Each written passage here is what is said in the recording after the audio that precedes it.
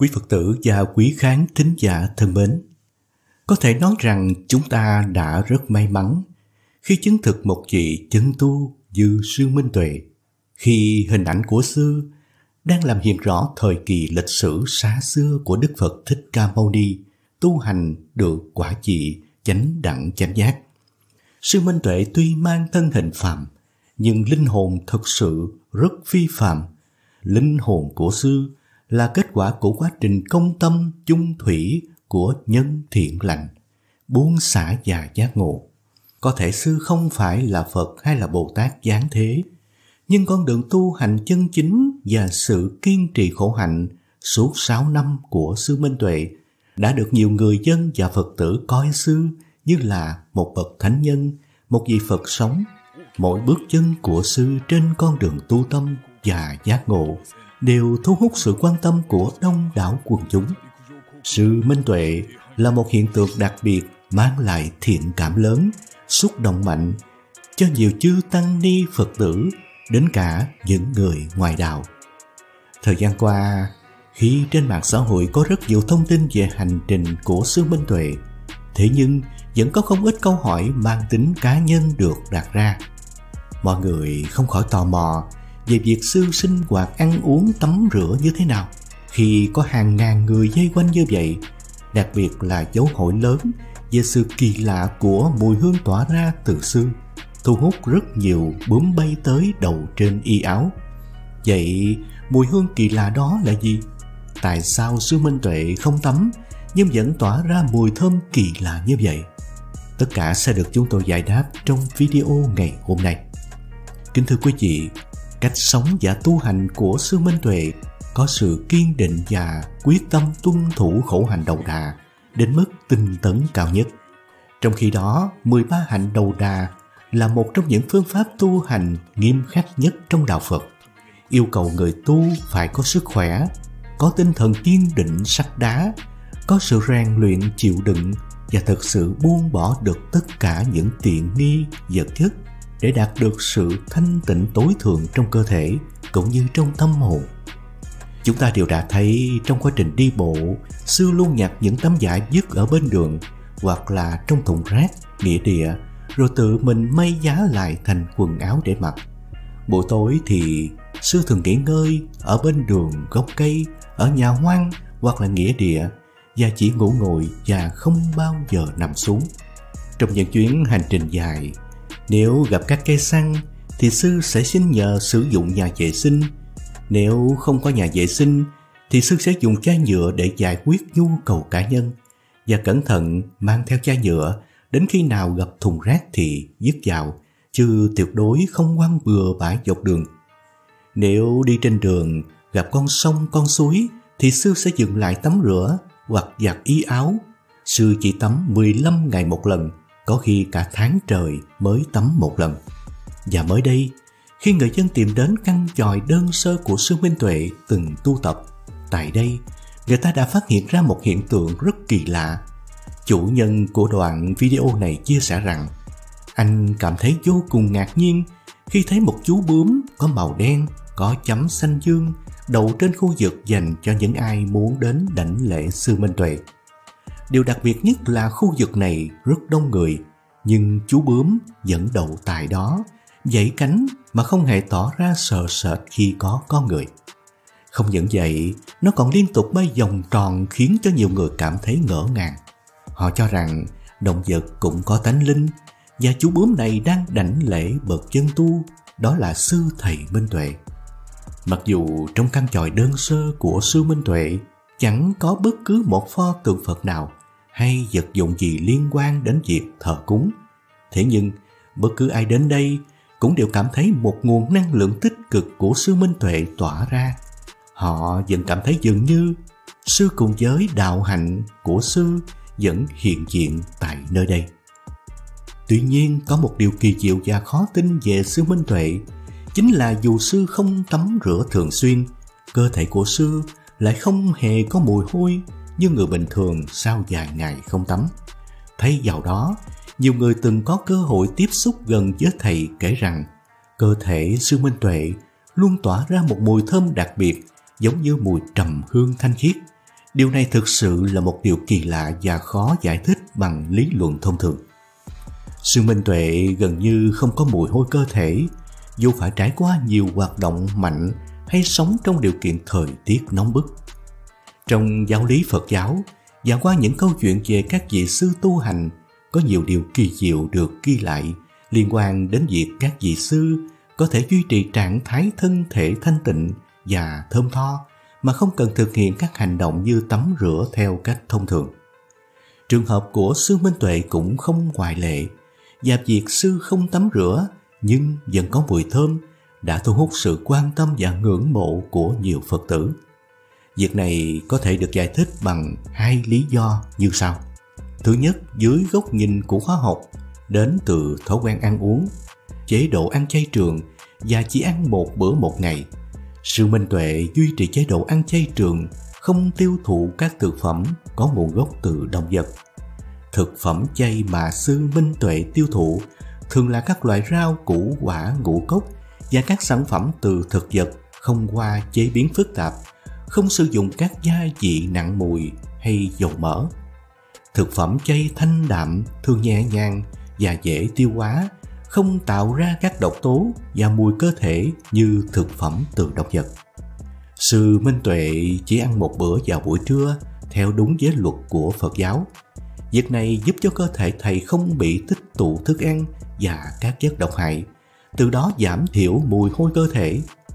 Thói quen ăn uống điều độ và thanh tịnh này không chỉ giúp duy trì sức khỏe mà còn giúp cơ thể sư tỏa ra hương thơm tự nhiên.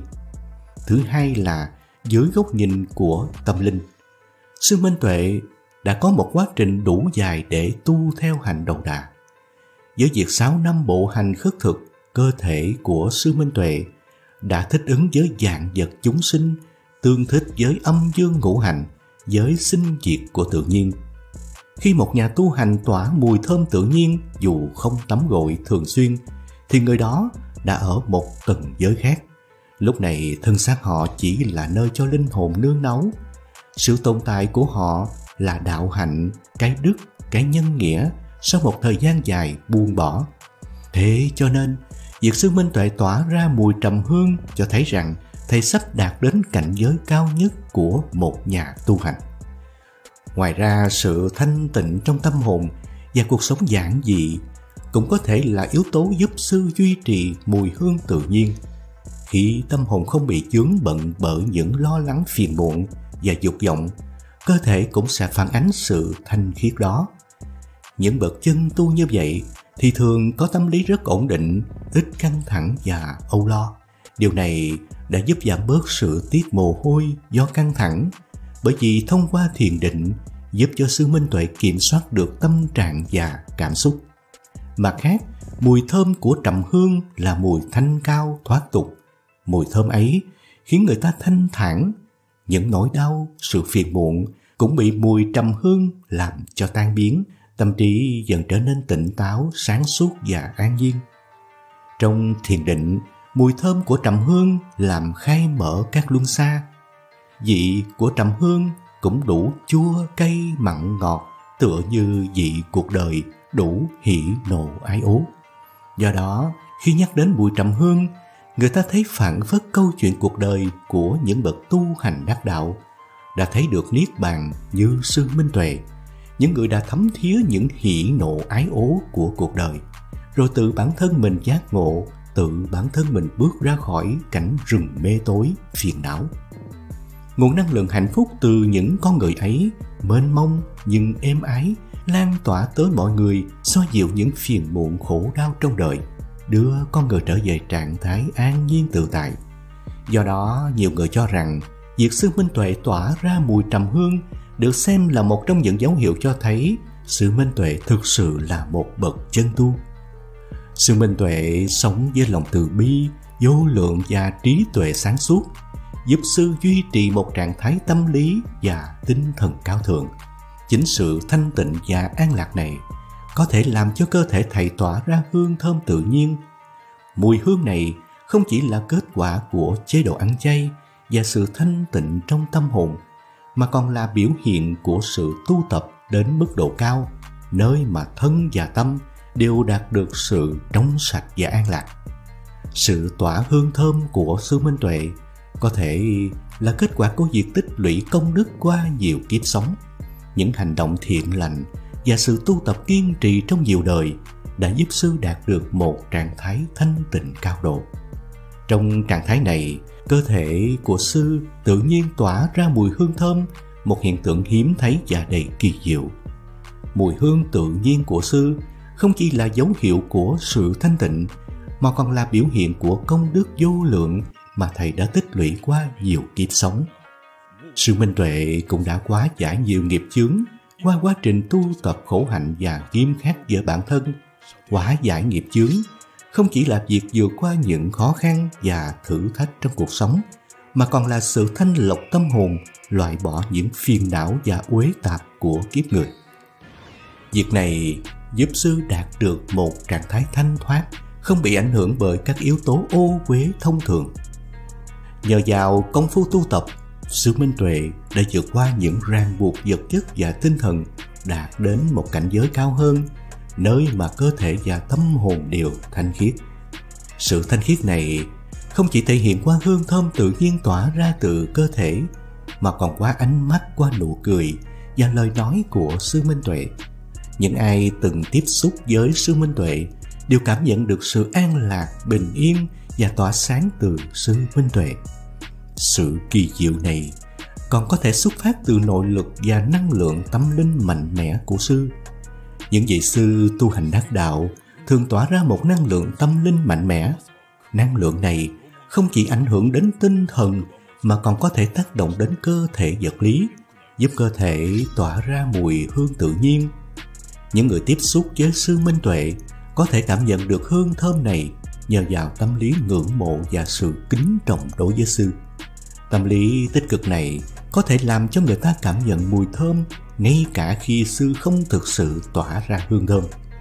Không chỉ dừng lại ở việc lan tỏa mùi thơm vật lý hữu hình, mà ở sư Minh Tuệ thực sự đã tỏa ra mùi thơm của đạo hạnh, của giới đức.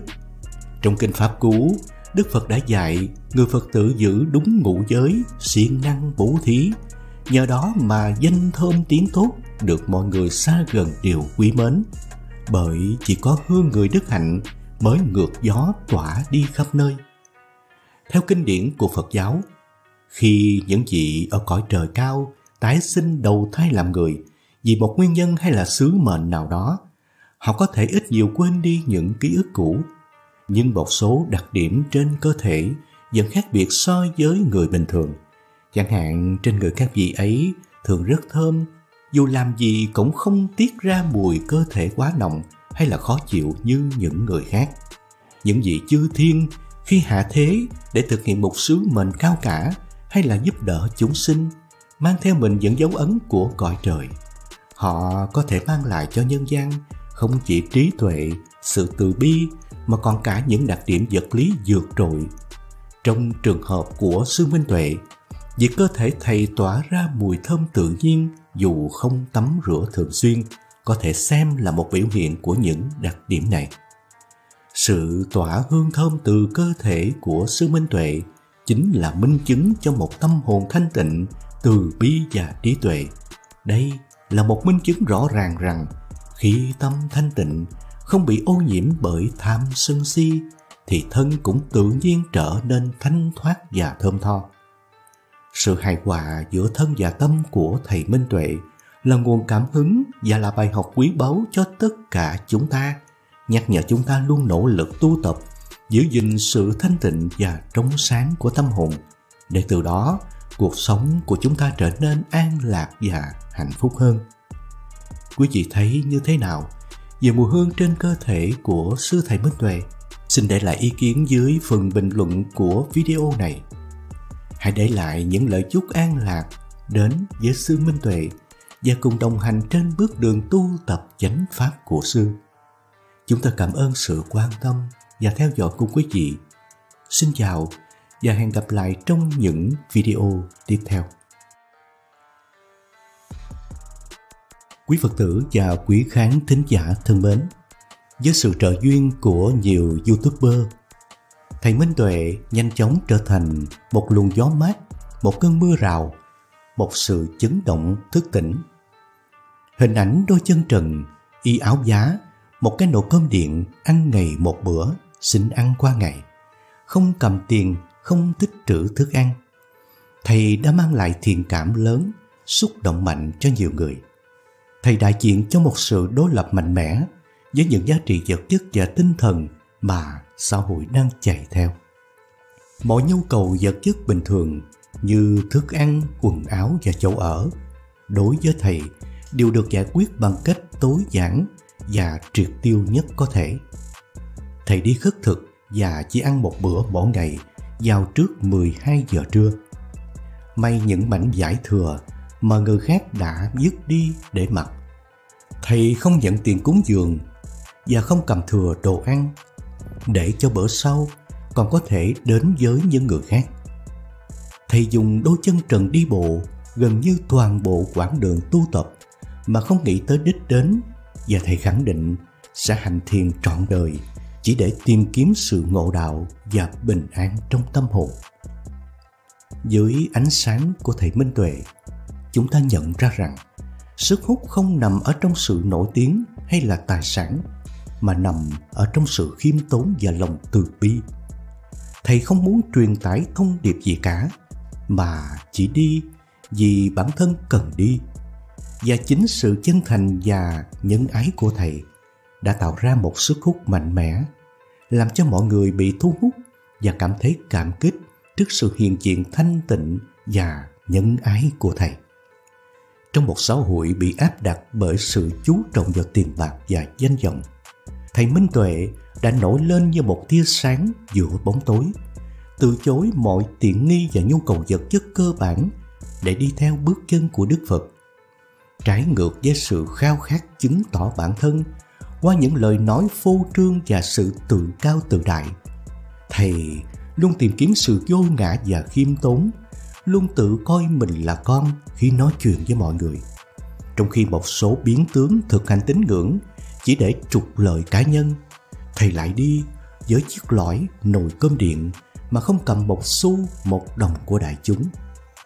Thầy Minh Tuệ không chỉ là một hiện tượng mạng phổ biến, thu hút sự chú ý từ dân hiếu kỳ đến những nhà sáng tạo nội dung quanh quẩn. Thực tế, thầy dường như đi trước một bước so với những sự vô minh cực điểm mà mạng xã hội đang mang lại cho thế giới.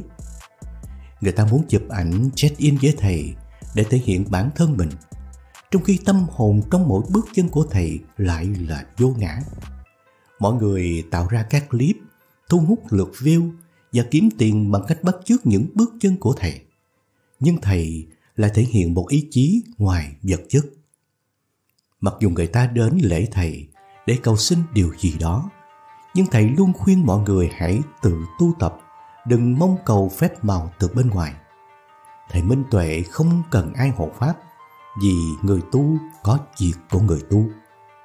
Thật hữu duyên, câu chuyện về thầy lại chợt bùng lên vào dịp lễ Phật đản, mang lại những sắc màu sâu sắc để cho mỗi người trong chúng ta có thể tự ngẫm nghĩ và tự soi sáng trong lòng mình cuộc sống tu hành khắc nghiệt của thầy Minh Tuệ không phải là một mô hình mà tất cả chúng ta phải làm theo nếu muốn tu tập. Thay vào đó, chúng ta có thể tự tìm hiểu và thực hành Phật Pháp một cách sâu sắc và phù hợp với bản thân mình.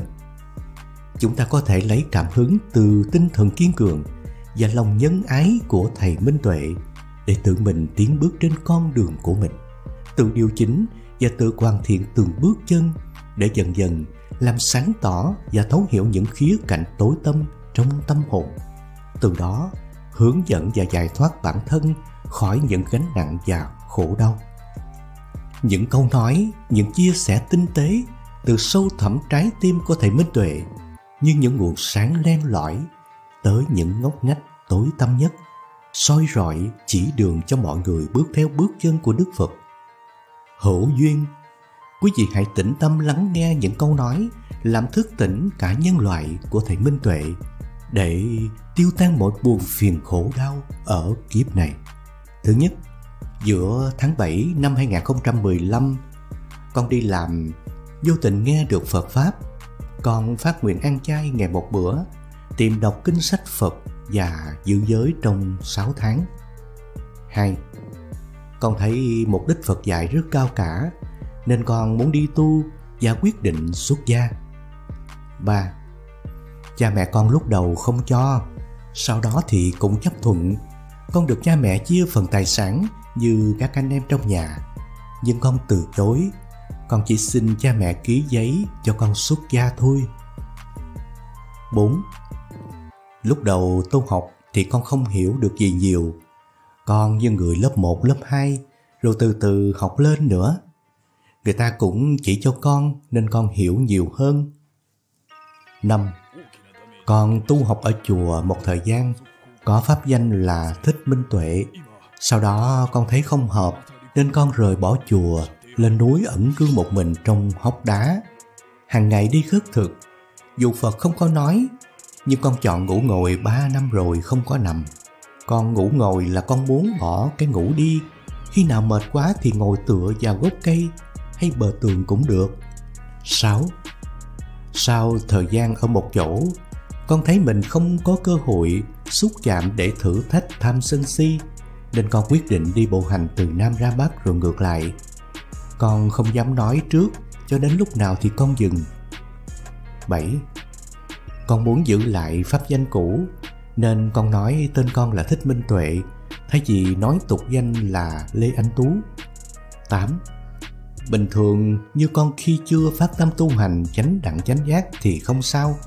Nhưng khi phát tâm tu hành rồi thì đầy đủ các thứ đánh đập chửi bới bệnh đau nó đến để thử thách trong lòng mình có vượt qua được không? Có chiến thắng với bốn nỗi khổ sinh già bệnh chết không? Thí dụ bệnh đau là cái đầu tiên dẫn đến để xem mình có sợ nó không.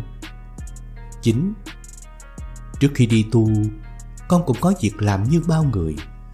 Con không hạnh phúc bởi con tư duy thấy rằng cho dù ai có việc làm, có công chức cuộc sống ổn định, nhưng rồi cũng bệnh, cũng già và chết như nhau, con sẽ giống họ.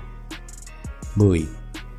Con muốn học những điều Phật dạy cao siêu, vi diệu, tối ưu, thiền định, trí tuệ, thoát được khổ đau và an lạc hạnh phúc. 11. Phật bài như thế nào con làm theo thế ấy để có an lạc hạnh phúc chứ không phải tự mình mà biết con chưa vào định được, con còn đang học 12. Con đi tu là để cầu giải thoát khi đắc đạo chánh đẳng chánh giác, con mới đền đáp được công ơn cha mẹ 13. Con tuyệt đối không nhận tiền vàng là vật phẩm của ai với bất kỳ hình thức nào. 14. Y áo con mặc được may từ giải, con nhặt được ở nghĩa địa thùng rác gian đường. 15. Con không sử dụng y áo có màu, giống như các tu sĩ, và nói mình ở chùa nào, vì con không muốn mượn hình ảnh để xúc phạm đến sư thầy và các chùa. Người ta có thể nói con lợi dụng để lừa đảo, hay làm điều sai trái làm ảnh hưởng đến họ. 16. Mình bát để nhận thức ăn là do con sửa chế từ nồi cơm điện người ta cho con. Đó không phải là y bát của quý sư thầy. 17. Đời là vô thường, sống nay chết mai đâu ai biết, nên con phải sớm đi tu. Lỡ mai chết mất thân này thì con đâu còn cơ hội. 18. Có người hỏi con ngủ ở ngay địa có thấy gì không? Con nói không thấy cũng không đúng. Có khi con thấy bóng đen nào đó đi qua, nhưng không ảnh hưởng gì đến con thì con nói thấy hay không thấy cũng vậy. 19. Giờ đây con coi mọi người đều là anh em cha mẹ như con. 20. Trong lòng con không còn ích kỷ hận thù. Con coi tất cả mọi người trong thế gian đều bình đẳng. 21. Giờ nếu anh có chửi con, con vẫn coi anh là bạn. 22. Người ta có đánh con, con vẫn chúc mọi điều tốt đẹp đến với họ. 23. Con nguyện ước chúc cho mọi người được hạnh phúc. 24. Bình thường như con khi chưa phát tâm tu hành chánh đẳng chánh giác thì không sao. Nhưng khi phát tâm tu hành rồi thì đầy đủ các thứ đánh đập chửi bới bệnh đau nó đến để thử thách trong lòng mình có vượt qua được không có chiến thắng với bốn nỗi khổ sinh già bệnh chết hay không? Thí dụ, bệnh đau là cái đầu tiên dẫn đến để xem mình có sợ nó hay không. 25. Mọi người không nên học bói toán vì có cái đúng, có cái không đúng. Đức Phật không có dạy xem bói. Hơn nữa, nếu họ tài giỏi thì họ đã bói cho họ rồi. Thay vì học bói toán, mọi người nên học đạo đức, giới luật, cố gắng giữ năm giới, không sát sanh, không trộm cắp, không tà dâm, không nói dối, không uống bia rượu sẽ được hạnh phúc. 26. Việc giữ giới là quan trọng đầu tiên trong giới định tuệ. Không giữ giới thì không tu được thành Phật. 27. Ăn chay mà giữ giới thì cũng thành đạt trong việc tu Phật được. 28. Người ta cho con chay mặn có đủ, nhưng khi ăn con chọn thức ăn chay. 29. Mọi người đừng lại con mà hãy lại Phật Pháp Tăng. 30. Con không kêu gọi hay lập ekip đi theo quay phim con, nhưng con cũng không xua đuổi họ. 31. Nếu họ quay phim con mà được lợi ích thì con cũng chúc họ hạnh phúc. 32. Đối với con ở đâu cũng là chùa, nên con không quan trọng lý do vì sao chùa này mở cửa, chùa kia đóng cửa. 33. Con đi bộ không đi xe là để rèn luyện sức khỏe. 34 còn đi chân trần để cảm nhận được những gì ở phía dưới chân mình có dẫm đạp lên các loài côn trùng sinh vật không? Hơn nữa giày dép mau hư hơn chân con. 35. Ai không có thứ gì đáng giá trên người mới là hạnh phúc vì họ không phải lo giữ gì cả. 36. Con không có gì hết nên con không sợ bị ai đánh đập hay giết mình lấy của. Con không sợ chết bởi con đâu có thứ gì tiếc uổng, cần phải sống để mà giữ nó. 37. Có người hỏi con ngủ ở trong chòi lá, rừng cây, lạnh lẽo rét buốt, làm sao mà ngủ ngon bằng ở phòng kính, chăn ấm nệm êm. Con nói vẫn ngon, vì theo lời Đức Phật dạy, ngủ ở đâu cũng ngon, nếu không có khởi tâm dâm dục. 38. Đọc chú Đại Bi phải có mục đích nào đó. Nếu chỉ muốn mình an ổn cần phải đọc chú Đại Bi. Thí dụ xua đuổi con quỷ chẳng hạn, thì mình cư xử ác với nó, rồi con không muốn giành lấy chỗ hay sự an ổn của ai, thí dụ của con quỷ, nên con không đọc chú Đại Bi. 39. Ai nói xấu con hay chửi mắng con thì con không giận họ, mà chúc họ may mắn. Ai nói tốt con hay là khen tặng con thì con bình tâm, không để mình bị dính vào ngã mạng và con cũng chúc họ được hạnh phúc. 40. Nói xấu, nói tốt hoặc khen chế con thì rồi cũng vậy. Nhưng con phát hiện ra hai tâm trạng. Người cho con thức ăn thì con thấy họ rất vui và hạnh phúc. Còn người chửi con thì con thấy họ đỏ mặt không tự nhiên. 41. Con không phải là sư thầy gì cả con là công dân Việt Nam giống như mọi người thôi. Con chỉ muốn học tu, con không có mục đích tuyên truyền hay là rao giảng gì cả. Tất cả lời Phật dạy đều có trên mạng. 42. Khi nào con thành tựu được chánh đẳng chánh giác, con mới giảng pháp cho mọi người được. Bây giờ, người nào muốn học thì cứ lên mạng nghe giảng của các sư thầy, kinh sách nào của Phật cũng đều có cả. 43 những người tu hành già cả hay là nghèo khổ mình nên bố thí cho họ cơm ăn y áo vật thực hay cái gì đó. Những người xa ngã ăn chơi hư hỏng, mình bày cho họ đừng sát sinh trộm cắp, sống lương thiện, giữ trọn năm giới, đó là bố thí pháp. 44 Sáu năm qua con không là nhân sự ở chùa đạo Con không là Nam Tông hay là Bắc Tông, cũng không phải là tu sĩ của giáo hội Phật giáo Việt Nam, bởi con tự thấy đạo đức của con chưa đạt đến cảnh giới đó. Kính thưa quý Phật tử và các bạn, tôi nhớ rõ khoảng 6 năm trước, tôi từng thấy hình ảnh của Thầy Thích Minh Tuệ trên mạng xã hội. Nhưng ông chỉ là một cá nhân đơn giản, sống yên bình và khiêm nhường. Cho đến gần đây, ông mới trở thành một hiện tượng nổi bật, không chỉ trên mạng xã hội mà còn trong sinh hoạt hàng ngày của nhiều người. Đặc biệt ông không xác định mình thuộc vào bất kỳ truyền thống Phật giáo cụ thể nào không phân biệt Nam Tông hay là Bắc Tông và cũng không công khai rằng mình tu theo hạnh đầu đà.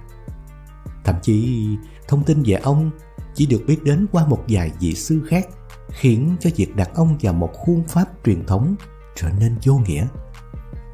Hành giả Minh Tuệ, một nhà tu hành theo lối khổ hạnh, không chỉ đơn thuần là một người tu mình theo cách khác biệt, mà còn là một biểu tượng của sự khiêm nhường và tỉnh thức. Trong giao tiếp hàng ngày, ông tự xưng là con thay vì thầy. Tôn trọng và nhấn mạnh sự nhận biết về sự thực tại bên trong mỗi người, thay vì vị trí xã hội hay là danh hiệu. Hành động của ông như ăn một bữa mỗi ngày, mặc áo giá và ngủ dưới gốc cây tại nhà hoang hoặc nghĩa địa đều thể hiện sự từ bi và chia sẻ với những người đang chịu đau khổ và thiếu thốn trong cuộc sống này. Những hành động của hành giả Minh Tuệ đã trở thành tâm điểm chú ý của mạng xã hội. Ông tự xưng mình là một người tập tu theo hạnh của Đức Phật, đang hướng đến việc tìm kiếm sự giải thoát bản thân mà không bị ràng buộc bởi những vật chất hay là danh vọng của thế giới. Sự khiêm nhường và đơn giản trong lối sống của ông là nguồn cảm hứng và kích thích cho những người gặp gỡ ông.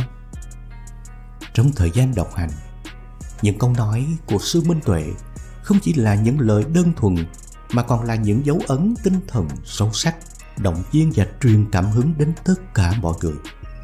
Từ những từ ngữ đơn giản nhưng lại mang ý nghĩa lớn lao là nguồn cảm hứng không ngừng cho hành trình tâm linh của mỗi người.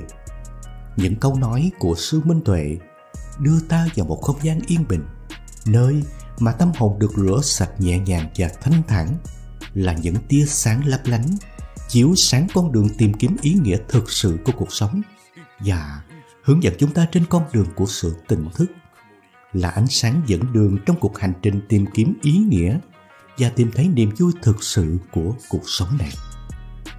Quý Phật tử và quý khán thính giả, xin hãy cùng lắng nghe và chiêm nghiệm những lời nói chân thành từ tâm của Sư Minh Tuệ.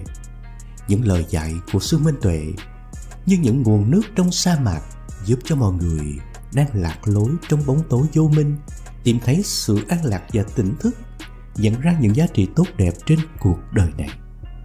Nam mô a di đà phật. Quý phật tử và quý khán thính giả thân mến, trên con đường nghe pháp tu học, chắc hẳn chúng ta ai cũng đã từng có lần được nghe qua hoặc biết về hạnh đầu đà. Từ thời đức phật còn tại thế có rất nhiều vị tu hành chứng đắc quả vị A-la-hán. Trong hàng đệ tử xuất gia của Thế Tôn, có 80 vị được xếp vào hàng Đại Thanh Văn. Đây là những bậc thánh có đức hạnh đặc biệt xuất sắc. Trong đó, Ngài Đại Ca Diếp được mệnh danh là Đầu Đà Đệ Nhất. Đầu đà có nghĩa là khổ hạnh. Người tu theo hạnh đầu đà chấp nhận những khó khăn trong các vấn đề ăn, mặc, ở Người thực hành hạnh này sẽ dễ thúc liễm thân tâm, thanh tịnh ba nghiệp.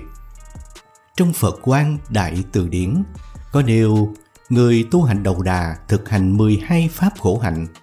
Còn trong thanh tịnh đạo luận, người tu hành đầu đà chuyên hành trì 13 pháp khổ hạnh. Đó là Thứ nhất, hạnh mặc y phấn tảo, có nghĩa là giải mai y nhặt ở lề đường, nghĩa địa, đống rác. Thứ hai, hạnh ba y. Có nghĩa là sử dụng những miếng vải chấp giá lại thành y. Chỉ dùng ba y, không nhận thêm y thứ tư. Thứ ba, hạnh khất thực, nghĩa là dùng thức ăn bằng cách đi xin xin ngày nào ăn ngày đó, không để dành. Thứ tư, hạnh khất thực từng nhà, nghĩa là đi khất thực theo thứ tự, không phân biệt giàu nghèo. Thứ năm, hạnh nhất tọa thực có nghĩa là ngồi ăn chỉ một lần. Khi đã đứng lên rồi thì không ngồi xuống ăn lại và không ăn nhiều lần trong ngày. Thứ sáu, hạnh ăn bằng bát. Có nghĩa là chỉ ăn những thức ăn xin được trong bình bát, không nhận bát thứ hai. Thứ bảy, hạnh không để dành đồ ăn, tức là không nhận đồ ăn sau khi đã ăn xong. Thứ tám, hạnh ở rừng, nghĩa là chỉ ở rừng, không ở làng xóm. Thứ chín, hạnh sống bên gốc cây, nghĩa là chỉ ở gốc cây, không sống ở nhà. Thứ 10. Hạnh ở giữa trời, nghĩa là chỉ ở ngoài trời, không sống trong nhà dưới tán cây. 11. Hạnh ở nghĩa địa, nghĩa là chỉ sống ở nghĩa địa. 12. Hạnh nghỉ chỗ nào cũng được. Và 13 là hạnh ngồi không nằm, có nghĩa là chỉ ngồi không nằm, khi ngủ cũng trong tư thế ngồi. Chắc hẳn trong mấy tuần vừa qua, không có quý Phật tử nào không biết đến hình ảnh Thầy Minh Tuệ. Hình ảnh Thầy xuất hiện trên các mạng xã hội y hệt như một trận bão truyền thông, làm dân tràn những cảm xúc và suy tưởng tới quần chúng nhân dân. Những bước chân đơn độc của Thầy đã đi bốn dòng đất nước trong nhiều năm qua để tu hành đầu đà là điều khó làm, không phải ai cũng làm được. Một hình ảnh chưa từng thấy dù là trong tiểu thuyết hay là trên phim ảnh. Hàng trăm người dân, có khi hàng ngàn người dân cùng ra phố bước theo thầy, lòng vui như mở hội, niềm tin vào chánh pháp kiên cố thiệp. Trước đó, thầy đã vào một ngôi chùa trong hai năm, rồi thấy không phù hợp nên chọn pháp tu bước đi không ngừng này. Thầy nói rằng thầy không phải là nhà sư mà chỉ là một người học theo lời dạy của Đức Phật. Giáo hội Phật giáo Việt Nam xác nhận rằng thầy Minh Tuệ không phải là thành viên.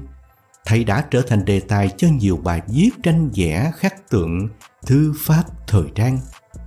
Dưới góc nhìn hạn hẹp của một người đang trên con đường tu tập, xin được nhìn vào vấn đề trên mà thảo luận với tất cả Phật tử đôi điều như thế này. Trước tiên, xin nói rằng chúng tôi rất mực ngưỡng mộ những việc khó làm của Thầy Minh Tuệ. Trước giờ chúng ta chỉ đọc qua trang sử về những vị như thế, nhưng chưa bao giờ nhìn thấy qua ống kính YouTuber trực tuyến như là hôm nay. Phải có sức khỏe, phải kham nhẫn, phải kiên tâm. Chúng tôi không có thần thông để có thể đánh giá bất kỳ vị nào đã tu tới đâu, đã tu tới mức nào. Ở đây, chúng tôi chỉ xin bày tỏ lòng khâm phục về những chuyện khó làm của Thầy.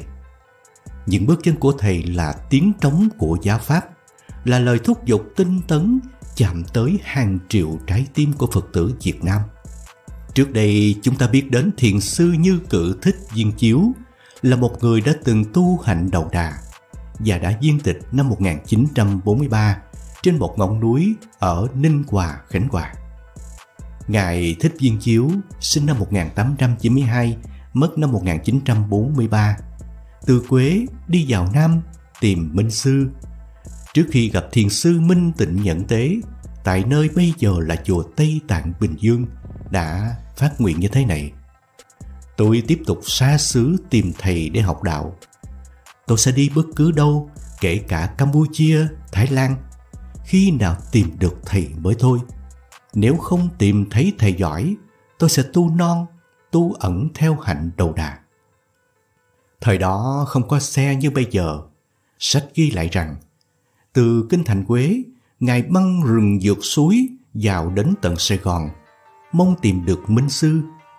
Lội bộ không giày không dép, với túi muối ớt xả khoảng gần vài ký, đi tới đâu khất thực tới đó. Ngài chỉ dùng cơm với muối ớt xả. Ban đêm, Ngài ngủ dưới gốc cây tại các chùa. Cùng đi có sư đệ Như Thượng, quê ở An Xuân, Quảng Điền, Thừa Thiên Huế. Vào tới Sài Gòn, sư đệ Như Thượng ở lại Sài Gòn, còn Ngài lại đi sang Campuchia, qua Thái Lan.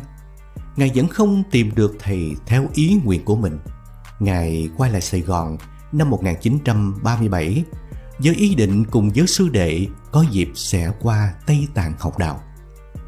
Duyên may cùng thời gian ấy, Hòa thượng Lạc Ma chân phổ nhẫn tế du học Tây Tạng vừa trở về trú trì chùa Thiên Chơn thuộc ấp Y An Thạnh thuộc huyện Thuận An, Bình Dương ngày nay. Ngài Như Cư cùng với huynh đệ Như Thượng đến đảnh lễ Hòa thượng chân phổ nhẫn tế cầu Pháp và được Hòa Thượng Chơn Phổ Nhận Tế tiếp độ. Ngài Như Cự ở đó tu học, cùng một sư huynh nữa là Như Trạm, cùng quê với sư đệ Như Thượng ở An Xuân, Quảng Điền, Thừa Thiên Quế. Sau gần 4 năm tu học với Ngài Hòa Thượng Nhẫn Tế, đây là pháp danh được Lạc Ma Quốc Dương Tây Tạng ban vào năm 1936. Ngài và các huynh đệ được ban hiệu như cự, diên chiếu, như thượng thường chiếu, như trạm tịch chiếu. Ngài diên chiếu ở với sư phụ một thời gian, sau đó Ngài xin sư phụ Minh Tịnh ra Khánh Hòa. Ngài lên núi ở chân hòn lớn, dùng suối cát để chuyên tu thiền định. Có một ngày nọ, khi người Phật tử làng Tân Hưng mang thức ăn đến tận nơi, thì thấy Ngài đã thị tịch trong tư thế hành thiền từ bao giờ rồi. Tin tức báo về làng, Ngài đã viên tịch đắc đạo ở suối cát Ninh Hưng. Ngài tịch trong tư thế thiền định trên tảng đá, có tảng đá lớn che nhục thân của Ngài. Vì vậy làng cho phép Phật tử địa phương bê ra lau rửa nhục thân Ngài và đặt Ngài y chỗ cũ. Sau đó Phật tử dân chúng đắp áo cà sa hậu vàng cho Ngài. Rồi dân chúng mỗi người thu nhặt đá ở mé suối đắp thành bảo tháp cho Ngài. Bây giờ nhìn lại, chúng ta biết ơn hai vị thầy trong hai trú xứ chùa Tây Tạng Bình Dương, nơi thầy tịch chiếu trụ trì, chùa Huê Lâm, nơi thầy thường chiếu trụ trì. Nếu không có những mái chùa như thế, sẽ không có một Phật giáo như hôm nay. Và đồng thời, khi nghĩ tới các vị sư tu hành đầu đà, chúng ta luôn nhớ tới sư thúc viên chiếu. Chúng ta hãy luôn nhớ đến sư thúc viên chiếu và tự thấy được thúc dục tinh tấn. Tất cả các vị sư chân tu đều là các cột trụ để hoàn pháp. Quay trở lại với thầy Minh Tuệ, hiện nay thầy đang mang hình tướng của một cư sĩ và trong tâm của thầy có thể là một vị đã có chứng đắc. Điều này chúng tôi chỉ nêu giả thuyết thôi. Nên thấy một vị cư sĩ có chứng ngộ, có chứng đắc là điều bình thường trong nhà Phật.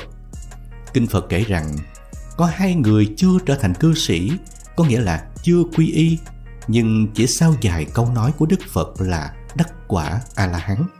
Đó là Ngài Bahiya, một tu sĩ từ phương xa tới hỏi đạo và ngài Ugasena, một chàng nghệ sĩ siết chứng quả ngay khi còn trên trụ biểu diễn giữa chợ. Và 32 vị trí thức Bà La Môn từ xa tới hỏi đạo cũng đắc quả A-la-hán chỉ sau vài câu nói và được ghi trong 32 bài kinh trong kinh tập phẩm 8 và phẩm qua bờ bên kia. Do vậy, không nên chấp vào hình tướng mà phán đoán về hành trình của tâm thức. Hiện tượng sư minh tuệ tu theo hành đầu đà là một minh chứng rõ ràng về sự thấu hiểu và thực hành triết lý Phật giáo trong cuộc sống hàng ngày, đã truyền cảm hứng và áp dụng những nguyên lý của hành đầu đà vào cuộc sống thực tế, thường xuyên thực hành thiền định và nguyện hành. Thông qua việc tập trung vào hơi thở và thức tỉnh tâm hồn, sự minh tuệ tìm kiếm sự yên bình và sự tỉnh thức để đạt được sự hiểu biết sâu sắc về bản thân và môi trường xung quanh. Qua việc thấu hiểu về nguyên lý và triết lý Phật giáo, sư Minh Tuệ áp dụng những lời dạy này vào cuộc sống hàng ngày, từ đó tạo ra sự thay đổi tích cực trong tâm hồn và hành động. Tiếp nữa là qua việc chia sẻ kinh nghiệm và học hỏi từ những người khác, sư Minh Tuệ không chỉ phát triển bản thân mình mà còn lan tỏa tinh thần của hành đầu đà đến với mọi người xung quanh. Tóm lại, hiện tượng sư minh tuệ tu theo hành đầu đà là một thí dụ điển hình về việc áp dụng triết lý Phật giáo vào cuộc sống thực tế. Qua những hành động và lời nói của mình, sư minh tuệ truyền cảm hứng và lan tỏa tinh thần của hành đầu đà đến với mọi người xung quanh, góp phần tạo nên một xã hội nhân văn và xây dựng một niềm tin Phật Pháp vững chắc trong lòng của công chúng. Nơi đây, với lòng tôn kính, chúng tôi xin kính chúc Thầy Minh Tuệ thật nhiều sức khỏe để tiếp tục con đường tu học sớm đạt thành tựu trên con đường cầu đạo giác ngộ, giải thoát. Những gì Thầy đã làm đều rất là tuyệt vời hy hữu. Tuy nhiên sức khỏe thân người phàm của chúng ta có hạn. Không nên đi theo Thầy làm nhiễu loạn quá trình tu tập của Thầy cũng như ảnh hưởng đến sức khỏe bản thân và an toàn giao thông của xã hội. Từ thời Đức Phật không khuyến khích đi bộ đường dài. Trong kinh, chúng ta thường đọc thấy rằng Đức Phật nói Này các tỳ kheo, đây là những gốc cây, đây là những căn nhà trống, hãy tu tập thiền định, chớ có phóng dật. Nghĩa là Đức Phật muốn chư Tăng tìm một trú xứ để tu thiền định. Bạn tới đây có thể nêu câu hỏi để học theo Đức Phật chúng ta nên suy nghĩ như thế nào? Nên tôn kính cả tăng ni và cư sĩ vì ai cũng có thể đắc quả thánh. Nên tôn kính các vị tu hành đầu đà và tôn kính các vị đang cư trú trong các tu viện gần thị trấn. Đức Phật có dạy hành đầu đà mà Ngài Ca Diếp là đệ nhất, nhưng không muốn chư tăng du hành đường dài, mà chỉ muốn chư tăng du hành từ nơi ẩn cư xuống núi, vào làng xóm để khất thực. Lời của Đức Phật thường dạy nhất là hãy tìm gốc rừng, gốc cây, nhà trống mà tu thiền định.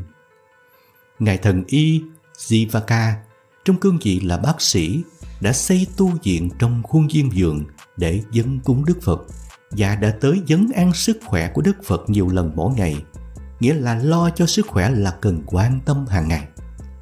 Hạnh đầu đà trong góc nhìn của Sư Minh Tuệ không phải là một mục tiêu xa vời mà là một hành trình không ngừng, một cuộc sống hiểu biết và yêu thương. Qua việc thực hành từ bi, lòng dân ái và thiền định, Sư Minh Tuệ đã truyền cảm hứng và ánh sáng cho hàng triệu tâm hồn, giúp họ tìm thấy hạnh phúc và bình an thực sự. Chúng ta hãy tiếp tục đi trên con đường này với lòng biết ơn và sự kính trọng đối với những bài học mà Sư Minh Tuệ đã truyền đạt. Và với hy vọng rằng mỗi bước chân của chúng ta đều mang lại ánh sáng và hạnh phúc cho mọi người xung quanh mình. Tới đây, chúng tôi là những người làm truyền thông Phật giáo, kênh YouTuber. Xin gửi lời cảm ơn đến tất cả quý Phật tử và quý khán thính giả đã dành thời gian lắng nghe và theo dõi kênh của chúng tôi. Quý vị có thể để lại ý kiến của cá nhân dưới phần bình luận của video để chúng tôi hoàn thiện hơn trong những lời bình ở các video tiếp theo. Kính chúc quý Phật tử luôn tinh tấn và an vui trên con đường tu tập của mình. Hãy tiếp tục với lòng biết ơn và kiên nhẫn để cho mỗi bước chân trên con đường học Phật đều là một bước tiến về phía ánh sáng và hạnh phúc chân thật. Nam mô A Di Đà Phật. Quý Phật tử và quý khán thính giả thân mến, trong cuộc sống, sự mất mát là không thể tránh khỏi và là một phần không thể tách rời của sự tồn tại. Đây là một phần không thể né tránh của thực tế. Đức Phật dạy rằng mọi thứ trong thế giới này đều phụ thuộc vào sự biến đổi và tàn phá. Sự mất mát là một phần không thể thiếu của chuỗi sự kiện này. Có thể thấy trong vài năm gần đây, thế giới đã trải qua một chuỗi biến động và mất mát mạnh mẽ, gây ra những đau thương và nỗi bất an lớn cho hàng triệu người trên toàn thế giới. Nhìn chung, không chỉ riêng ở Việt Nam mà còn ở nhiều quốc gia trên thế giới, những biến động này đã làm thay đổi cả diễn biến và tầm quan trọng của cuộc sống hàng ngày tạo ra những thách thức lớn và đe dọa đến sự ổn định và phát triển của xã hội. Trước hết, dịch bệnh COVID-19 đã gây ra một làn sóng của sự mất mát không thể đếm xuể, khiến cho hơn 15 triệu người trên toàn thế giới tử vong. Ngoài ra, các xung đột và chiến tranh vũ trang cũng đã gây ra những mất mát nặng nề. Từ cuộc chiến tranh ở Ukraine, Israel và Hamas đến nội chiến ở Myanmar. Hàng trăm ngàn người đã phải hy sinh, hàng triệu người khác đã phải ly tán và bỏ nhà bỏ cửa ra đi trong vô định, mang theo nỗi lo lắng và tuyệt vọng về tương lai. Trong nước, hàng loạt vụ án tham nhũng siêu lớn, có vụ như SCB gây thiệt hại lên đến 27 tỷ đô la. Vụ án Trịnh Văn Quyết, vụ Tân Hoàng Minh vụ chuyến bay giải cứu, vụ Phan Quốc Việt và đã khiến cho nhiều đại gia lãnh đạo, kẻ thì mất mạng, người thì mất chức tù đài. Có lẽ sự tham lam và ích kỷ đã chiếm lĩnh lòng người, khiến cho họ không ngần ngại vi phạm đạo đức và tận dụng tình hình khó khăn của người khác để thu lợi cá nhân. Một số người có thể vô tư tham ô hàng triệu đô la, trong khi đó hàng triệu người khác đang phải đối diện với nghèo đói, với những người đang phụ thuộc vào máy thở, có nguy cơ tử thần có thể đến bất cứ lúc nào. hay những người đang cầu cứu sự giúp đỡ từ những chuyến bay cứu trợ để có thể trở về quê hương mình. Ranh giới giữa sự sống và cái chết lúc đó thật mong manh vô cùng.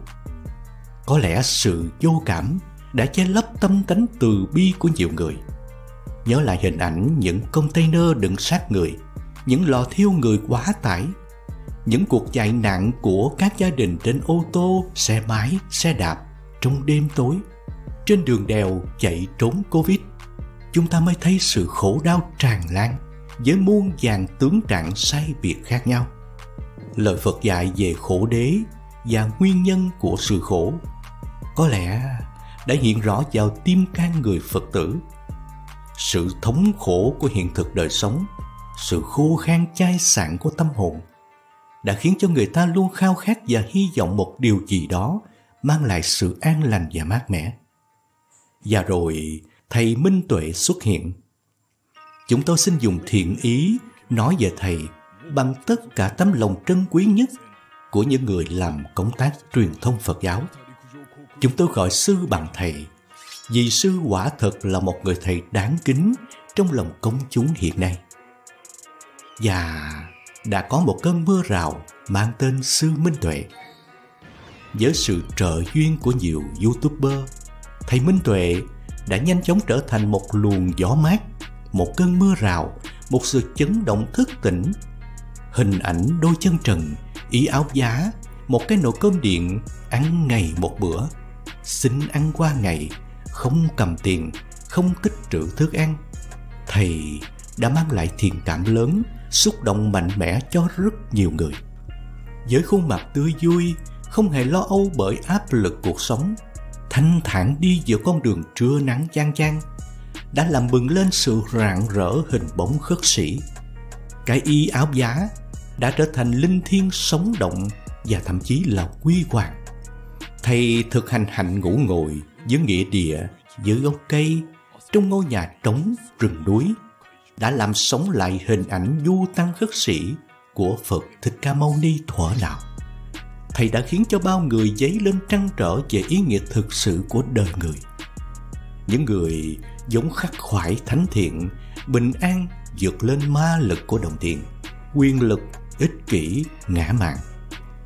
Thầy đã làm rúng động hàng triệu con tim người Việt Nam trên khắp thế giới, cho người ta hy vọng về những gì tốt đẹp đang ngày một nở hoa, bất chấp mọi game màu xấu xí, đen tối.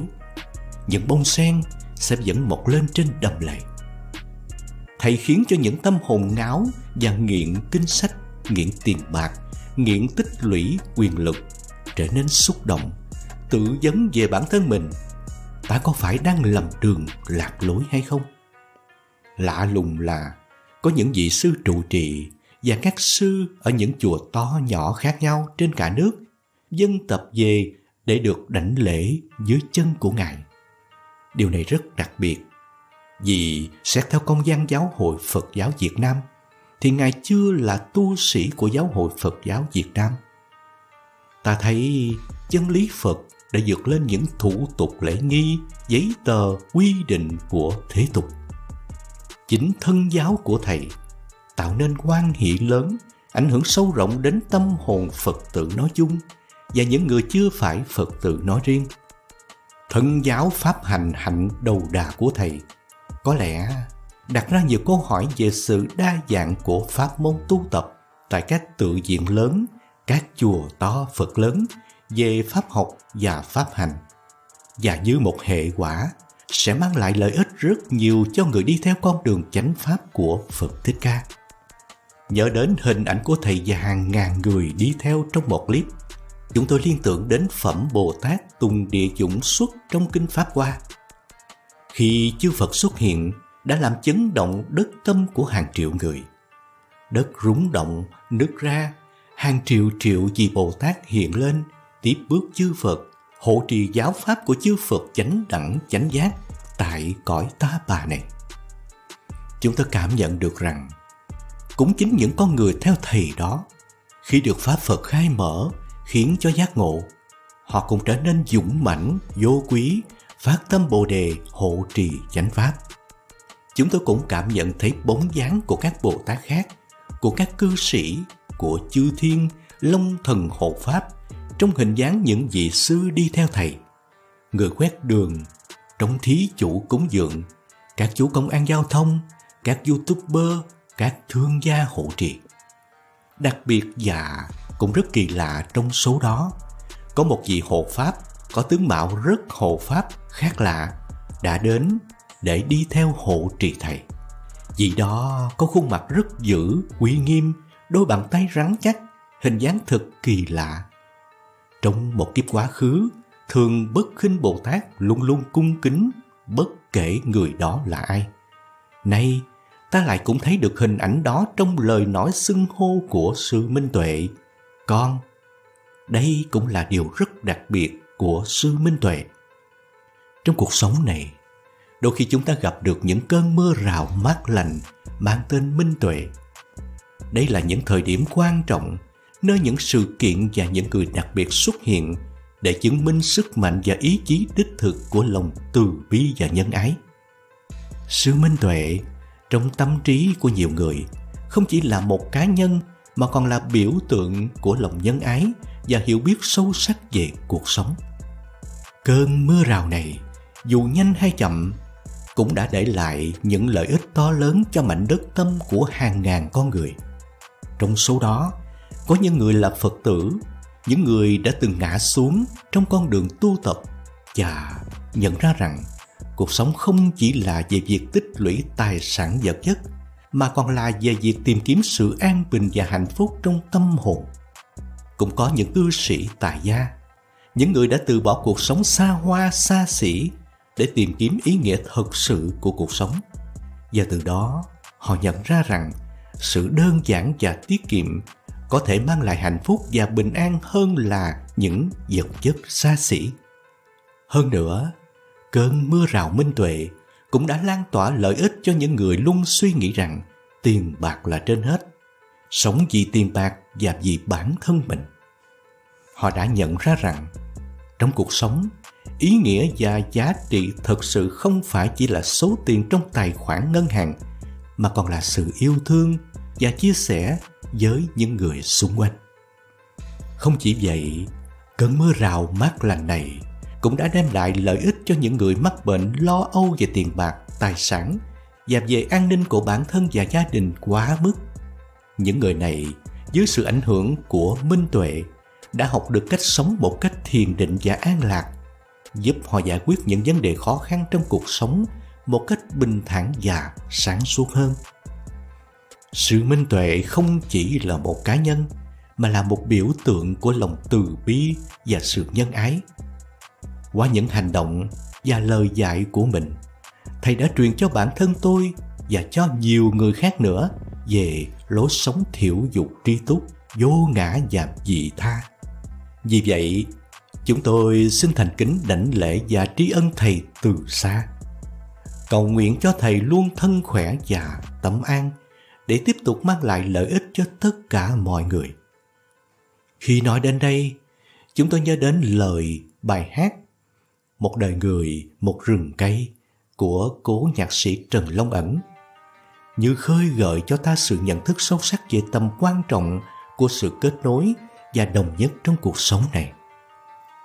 Sự minh tuệ như một biểu tượng của lòng từ bi và nhân ái là minh chứng sống cho ý nghĩa của sự kết nối và sự đồng nhất trong tất cả mọi vật.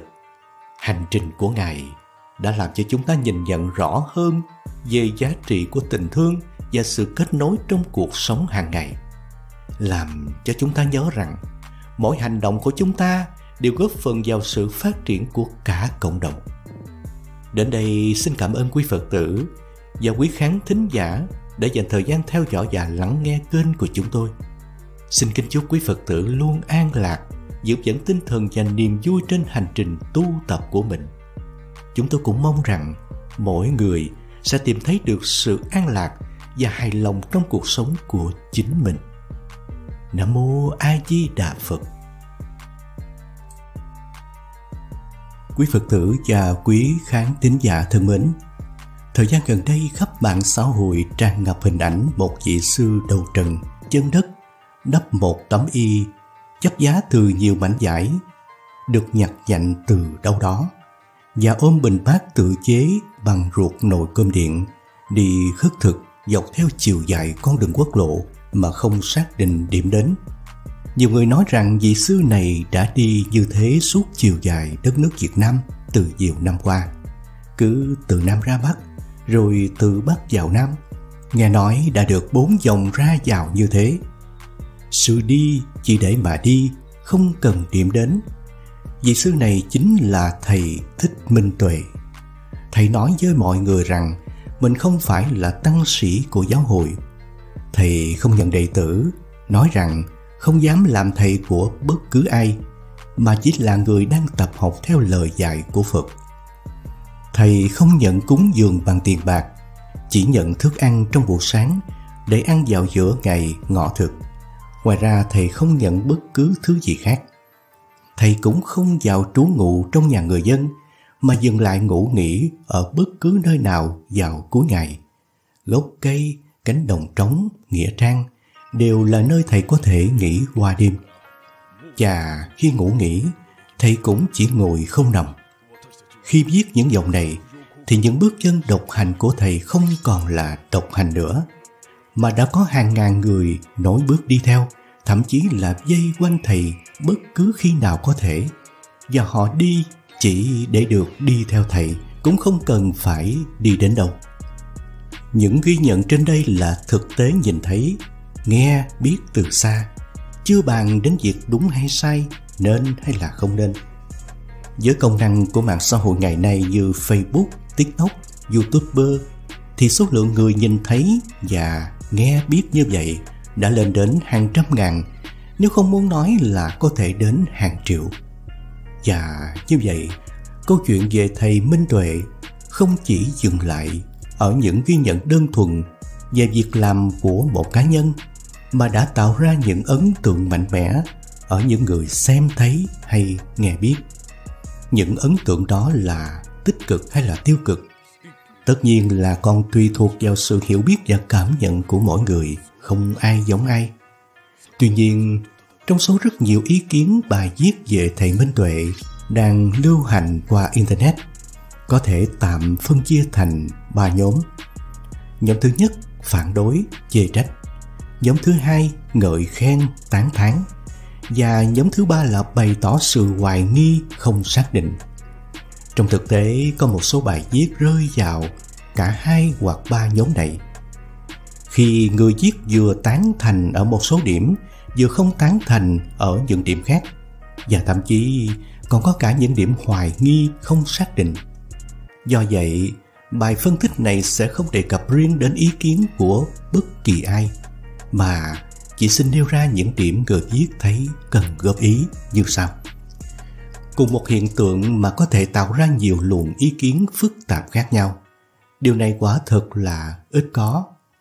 Bài viết này không có tham vọng đưa đến một sự nhận hiểu đồng thuận về việc làm của thầy Minh Tuệ, bởi điều đó tất nhiên là bất khả thi.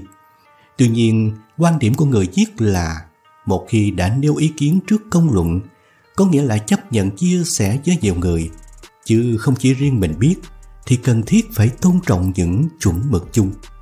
Và trong trường hợp của người Phật tử thì chuẩn mực chung cao nhất chính là kinh điển, chứ không phải là những ý kiến chủ quan của bất kỳ ai. Do vậy, đứng trước một vấn đề, chúng ta ai cũng có quyền khen ngợi hoặc là chê trách. Nhưng điều quan trọng là sự khen ngợi hoặc chê trách đó phải đúng đắn, có căn cứ, có lập luận hợp lý, thay vì chỉ là những cảm nhận chủ quan. Vì những ý kiến chủ quan của một người khi chia sẻ rộng rãi lại có thể tạo ra ảnh hưởng nơi nhiều người khác. Nếu ảnh hưởng đó đúng đắn, thì tất nhiên là việc tốt. Nhưng nếu là sự ảnh hưởng từ những nhận xét không chính xác thì sẽ không tốt chút nào. Có người gọi việc rất nhiều người đi theo thầy Minh Tuệ là hiệu ứng đám đông. Cách gọi này là không chính xác. Hiệu ứng đám đông hàm nghĩa là người tham gia vào một sự kiện nào đó mà hoàn toàn không có chủ ý của chính mình, chỉ làm theo đám đông, vì tin rằng đám đông đó hành động đúng trong trường hợp những người đi theo thầy minh tuệ chúng ta không thể xác định ý nguyện hay nhận thức riêng của mọi người, nhưng chắc chắn không thể nói chung rằng tất cả họ chỉ làm theo đám đông. Tất nhiên còn có thể bàn thêm về nhiều nguyên do khác nhau, nhưng sử dụng cách nói hiệu ứng đám đông trong trường hợp này là thiếu chính xác nếu không muốn nói là có thể xúc phạm nhiều người trong số đó. Sau đây là những lời chỉ trích. Có những chỉ trích rất nặng nề đối với việc thầy Minh Tuệ ôm nồi cơm điện đi lang thang, thậm chí còn gọi thầy là thằng ba trợn. Một số khác phê phán, chỉ trích khác, ngay cả từ một số tăng sĩ cho rằng nếu đã tự nói mình không phải tu sĩ Phật giáo thì không được khất thực, không được đáp y, dù là tấm y khác biệt với những tăng sĩ khác, vì vẫn làm cho Phật tử lầm tưởng đó là tăng sĩ. Thậm chí có người còn lạm dụng những từ nặng nề như trộm pháp, trộm tăng tướng, vân vân. Chúng ta sẽ bỏ qua tất cả những chỉ trích tương tự thuộc loại này vì chúng hoàn toàn vô lý, vô căn cứ và thô thiển đến mức người Phật tử tỉnh táo nào cũng có thể nhận ra không cần bàn đến. Giáo pháp của Đức Phật là rộng mở cho bất cứ ai, ngay cả ngoại đạo tài giáo mà thức tỉnh muốn vận dụng thêm một phần lời Phật dạy để tu tập cũng không ai cấm cản. Dưới đây, chúng ta sẽ chỉ đề cập đến những chỉ trích mà người nêu ra có thể hiện tinh thần trách nhiệm, có thiện ý muốn tốt đẹp cho cộng đồng. Và do vậy, những ý kiến chỉ trích này cho rằng lẽ ra thầy Minh Tuệ không nên làm như vậy, không nên đi như vậy, không nên tu theo cách như vậy thì tốt hơn. Dưới đây chúng tôi chỉ nêu một vài ý kiến tiêu biểu thuộc loại này. Đó là việc đắp y nhiều màu, dùng bình bát bằng ruột nồi cơm điện là không đúng pháp. Những người chỉ trích cho rằng ngay cả y phấn tảo được chấp giá từ nhiều mảnh giải cũng phải được nhuộm thành một màu, chứ không thể để lòe loẹt như vậy gây phản cảm đối với hình ảnh một tăng sĩ Phật giáo. Và bình bát là một pháp khí được xem như bảo bối của đạo Phật, không thể tùy tiện thay bằng ruột nồi cơm điện. Như vậy là bôi bác làm xấu Phật giáo. Tất nhiên nhận xét như thế nào là quyền của mỗi người. Ở đây chỉ xin nêu hai ý kiến như thế này. Thứ nhất, kinh điển ghi nhận việc một vị tăng chỉ sở hữu duy nhất một bình bát, còn gọi là nhất bát, dùng để đi khất thực. Nhưng chưa thấy chỗ nào đưa ra quy chuẩn về bình bát phải làm bằng chất liệu gì hay là làm như thế nào. Từ điển Phật quan, bản Hán ngữ, trong một mục từ nhất bát, ghi nhận biểu thị Phật giáo tu hành giả sinh hoạt chi dạng phát, tức là biểu thị đời sống đơn giản một mạc của người tu hành trong Phật giáo. Dựa theo đây mà nói thì cái bình bát bằng ruột nồi cơm điện của thầy Minh Tuệ không có gì là trái luật mà ngược lại còn rất đơn giản và một mạc.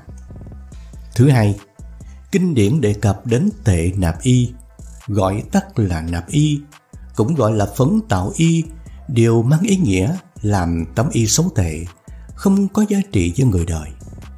Chúng tôi không thấy chỗ nào nói đến việc quy định màu sắc đối với y, còn gọi là cà sa, của một vị tăng thông thường, thì đúng là không nên chọn màu đẹp đẽ, mà nên nhuộm cho xấu đi gọi là hoại sắc, trong ý nghĩa là để tránh sự tham chấp vào hình sắc. Riêng y phấn tảo mà một vị tăng theo hạnh đầu đà sử dụng thì không thấy nói đến việc nhuộm màu. Kinh Thập Nhị Đầu Đà Phật thuyết Thập Nhị Đầu Đà Kinh do Ngài Câu Na Bạc Đà La dịch từ Phạn ngữ sang Hán ngữ vào đời Tống có dạy rằng Ưng nhập tụ lạc trung, thập cố trần khí vật hoán chi linh tịnh, tác tệ nạp y phú trừ hàng lộ. Tức là nên vào trong xóm làng nhặt những mảnh vải cũ đã dứt bỏ đi, giặt cho sạch sẽ, may thành nạp y đắp lên người để ngăn sự rét lạnh sương gió. Rõ ràng trong kinh không nói đến việc phải chọn màu sắc hay phải nhuộm cho cùng màu các mảnh vải nhặt được. Như vậy, tấm nạp y và bình bát của thầy Minh Tuệ không có gì là không đúng pháp còn nếu nói là gây phản cảm thì đó là cảm nhận riêng của mỗi người chúng ta không bàn đến Tuy nhiên, với rất nhiều người đang công khai bày tỏ sự ngưỡng mộ, yêu mến thầy thì họ đã thấy là không có gì phản cảm cả. Vấn đề thứ hai là việc một tăng sĩ đi lang thang không tụ xứ là không đúng pháp. Những người đưa ra ý kiến chỉ trích này tranh cãi xoay quanh việc cho rằng thầy Minh Tuệ không thực hành đúng hành đầu đà. Thầy Minh Tuệ không đủ điều kiện như luật quy định để làm một vô tăng. Thầy Minh Tuệ lang thang khất thực trên đường như vậy không đúng pháp, dân dân. Trước hết xin lưu ý rằng Thầy Minh Tuệ đã tự nói với mọi người rằng thầy không phải là một thầy tu, không thuộc về chùa hay giáo hội nào. Thầy không dám làm thầy bất cứ ai, mà chỉ là một công dân Việt Nam đang tự mình học tập theo lời Phật dạy. Với một người như vậy, thì những chỉ trích như trên là không đúng chỗ. Bởi là một công dân thì có quyền làm mọi điều không vi phạm pháp luật còn những quy định thuộc về nội bộ của Phật giáo thì không áp dụng cho người này. Tuy nhiên cá nhân tôi vẫn xem thầy là một vị thầy Phật giáo.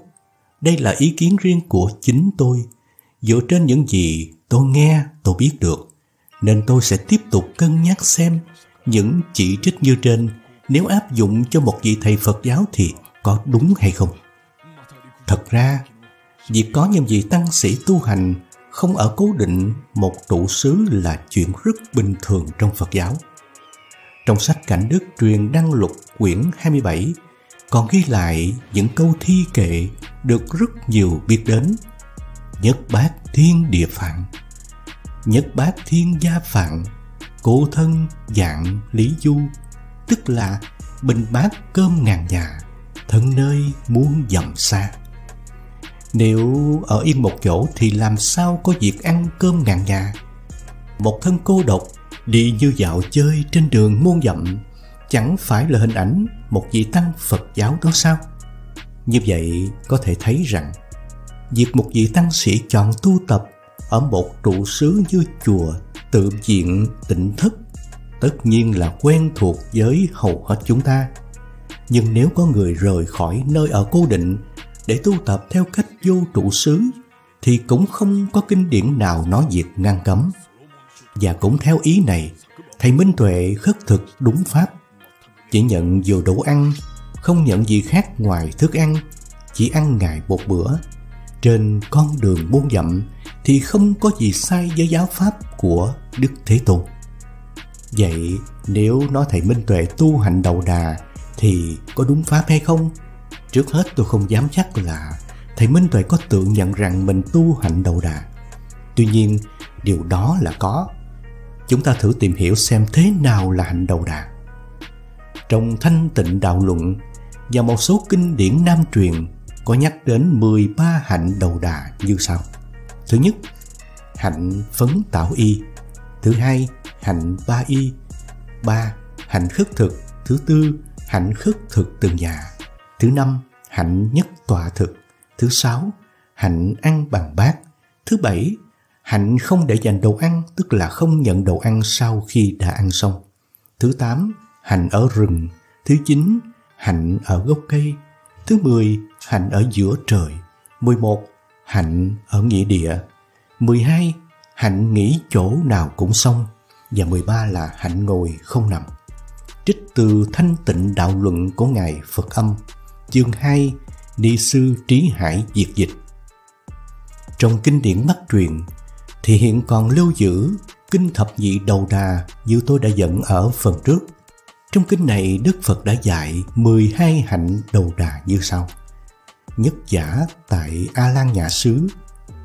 Nhị giả thường hành khất thực Tam giả thứ đệ khất thực, Tứ giả thụ nhất thực pháp, Ngũ giả tiết lượng thực, lục giả trung hậu bất đắc ẩm tương, thất giả trước tệ nạp y, bát giả đảng tam y, cửu giả trũng gian trụ, thập giả thụ hạ chỉ, thập nhất giả lộ địa tọa thập nhị giả đảng tọa bất ngoại Xin dịch nghĩa sang tiếng Việt là thứ nhất, sống nơi thanh vắng yên tĩnh, thứ hai, thường thực hành pháp khất thực, thứ ba, đi khất thực luôn bình đẳng theo thứ lớp Thứ tư, mỗi ngày chỉ ăn một bữa.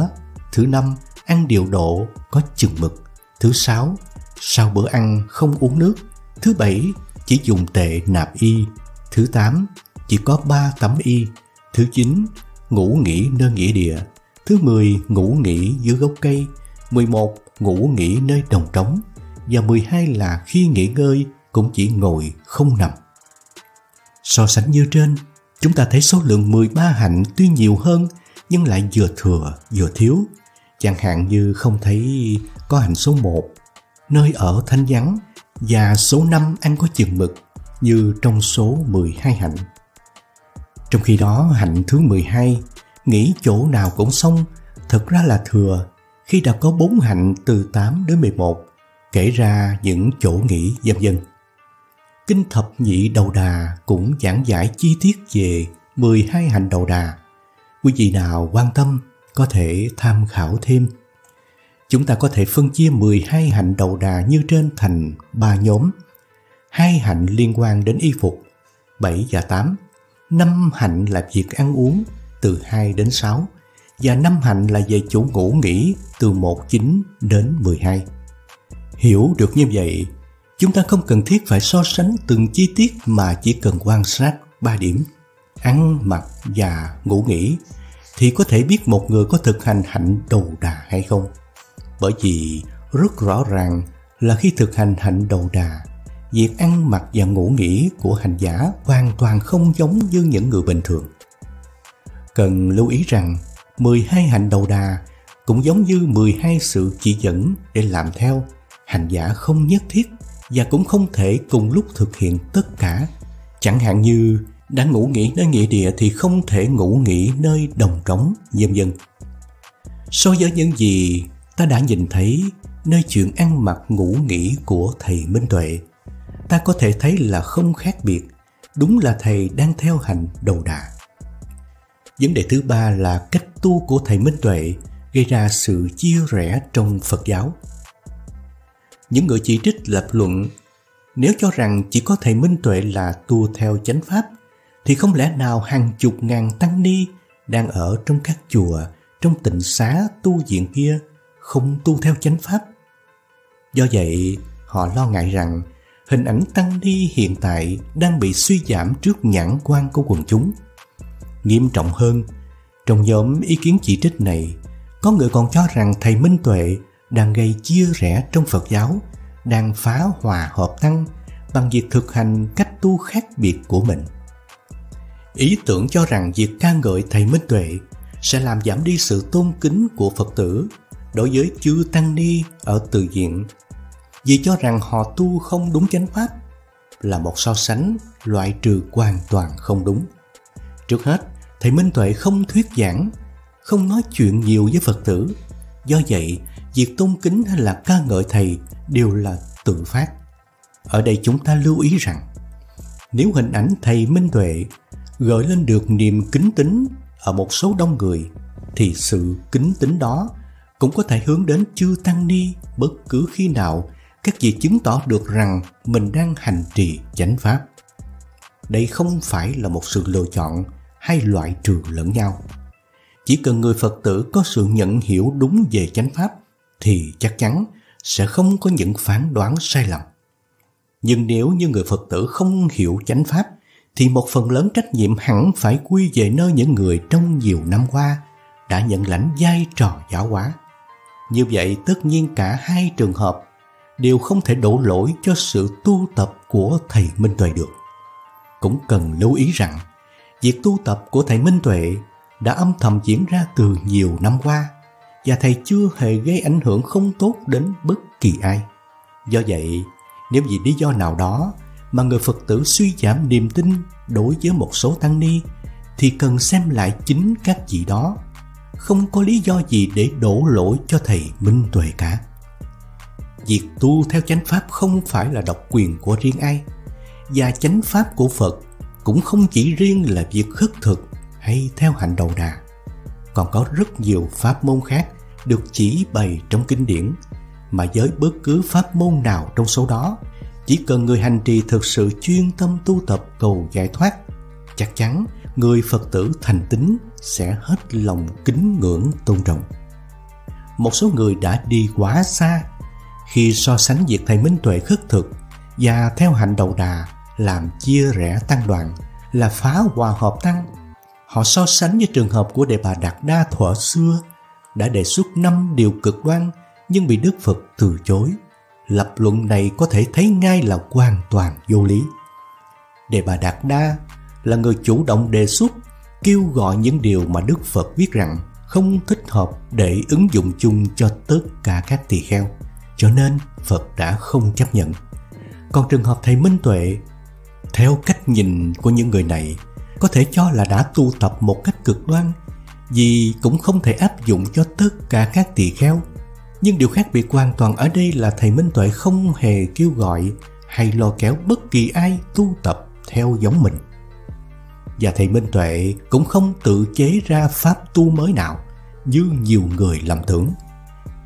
Những gì thầy đang thực hành đều có ghi chép trong kinh điển, cho nên quy kết như trên là vô lý và thiển cận.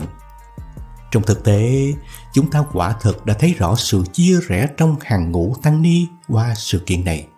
Nhưng nói chính xác thì đây chỉ là sự chia rẽ giữa một số các vị tăng hoàn toàn không thể gọi là chia rẽ tăng đoàn, càng không liên quan gì đến trường hợp gọi là phá hòa hợp tăng.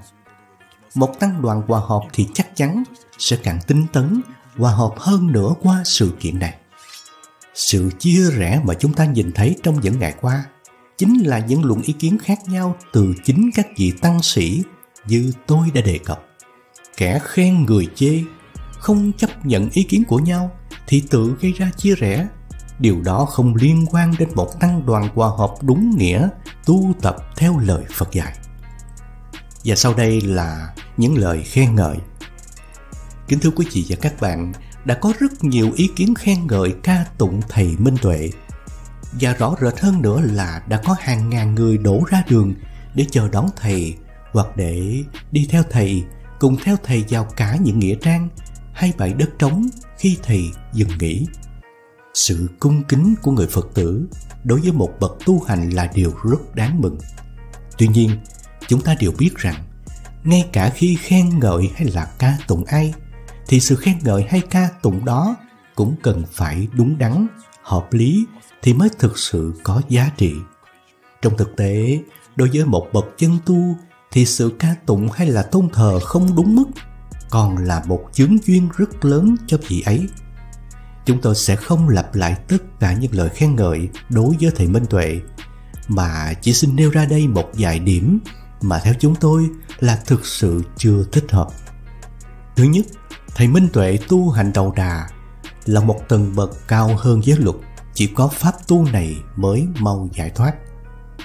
Rất nhiều người đã khen ngợi ca tụng thầy, nhưng hoàn toàn không đúng ở điểm này. Chúng ta sẽ thử tìm hiểu qua lời Phật dạy về vấn đề này để thấy được chỗ không đúng. Những gì chúng tôi trình bày dưới đây sẽ cố gắng y cứ vào kinh điển và giáo pháp, hoàn toàn không phải ý kiến chủ quan của cơ viết. Trước hết là hành đầu đà hoàn toàn không phải là một pháp tu. Do đó, nếu một người suốt đời hay thậm chí nhiều đời nhiều kiếp chỉ giữ theo 12 hành đầu đà, người đó cũng không bao giờ đạt đến sự giải thoát, không bao giờ giác ngộ. Thứ hai, hạnh đầu đà khác với giới luật và càng không phải là một tầng bậc cao hơn giới luật. Mặc dù chúng ta thấy có vẻ như giữ theo hành đầu đà là khó khăn hơn, Đức Phật chưa bao giờ dạy rằng các vị tỳ kheo phải theo hành đầu đà mới đạt được sự giải thoát giác ngộ. Thứ ba là hạnh đầu đà khác với khổ hạnh, không phải là khổ hạnh. Chữ đầu đà cũng được phiên âm là đổ tẩu, mang ý nghĩa là rũ bỏ, dẹp bỏ, nghĩa là những hạnh này có công năng giúp người tu tập rũ bỏ, dẹp bỏ tâm tham dục, sân hận, ái luyến. Các hành đầu đà có thể rất khó thực hành đối với người bình thường, nhưng thật ra không quá cực đoan và ép sát như người tu khổ hạnh. Chính Đức Phật đã từ bỏ lối tu khổ hạnh, nên không có lý do gì Ngài lại dạy đệ tử tu khổ hạnh ép sát. Do vậy, nếu chúng ta gọi các hành đầu đà là khổ hạnh hoặc đầu đà khổ hạnh đều là sai ý nghĩa. Lấy thí dụ, hạnh đầu đà thứ năm nói rằng ăn điều độ có chừng mực. Đây không thể xem là khổ hạnh. Có người giải thích rằng chỉ ăn một nắm cơm trong bát. Không phải như vậy. Bình bát của vị khất sĩ được gọi là ứng lượng khí, tức là vật chứa tùy theo lượng mức cần thiết. Điều này có nghĩa là nếu một vị tỳ kheo cần một lượng thức ăn nhiều mới đủ bữa, vị ấy có thể chọn một bình bát hơi lớn hơn. Còn ngược lại, nếu ăn ít thì sẽ chọn một bình bát nhỏ hơn cho phù hợp. Đó gọi là ứng lượng. Đức Phật không dạy rằng người tu phải ăn uống thiếu đói, mà dạy rằng nên ăn vừa đủ, biết đủ. Trong Quy Sơn Cảnh Sách Văn, Tổ Quy Sơn có nói, tam thường bất túc, tức là ba chuyện ăn mặc và ngủ nghỉ, đừng cho đến mức đủ. Điều này có nghĩa là một vị tỳ kheo nếu ăn ba chén cơm là vừa no, thì gần đến mức no đủ, vị ấy nên bớt lại một chút, còn gọi là bớt túc, chứ không có nghĩa là ăn quá ít, ăn đói. Như vậy, nếu một vị thân hình to lớn có nhu cầu ăn nhiều hơn, cần đến 6 chén, thì vị ấy vẫn ăn được đủ 6 chén.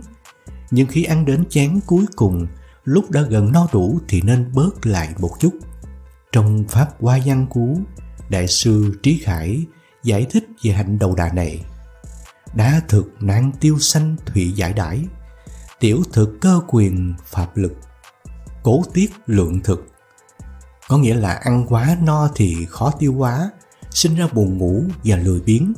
Ăn quá ít thì đói gầy mất sức, cho nên phải ăn uống tiết chế vừa đủ. Chúng ta thấy rõ đây hoàn toàn không phải là khổ hạnh.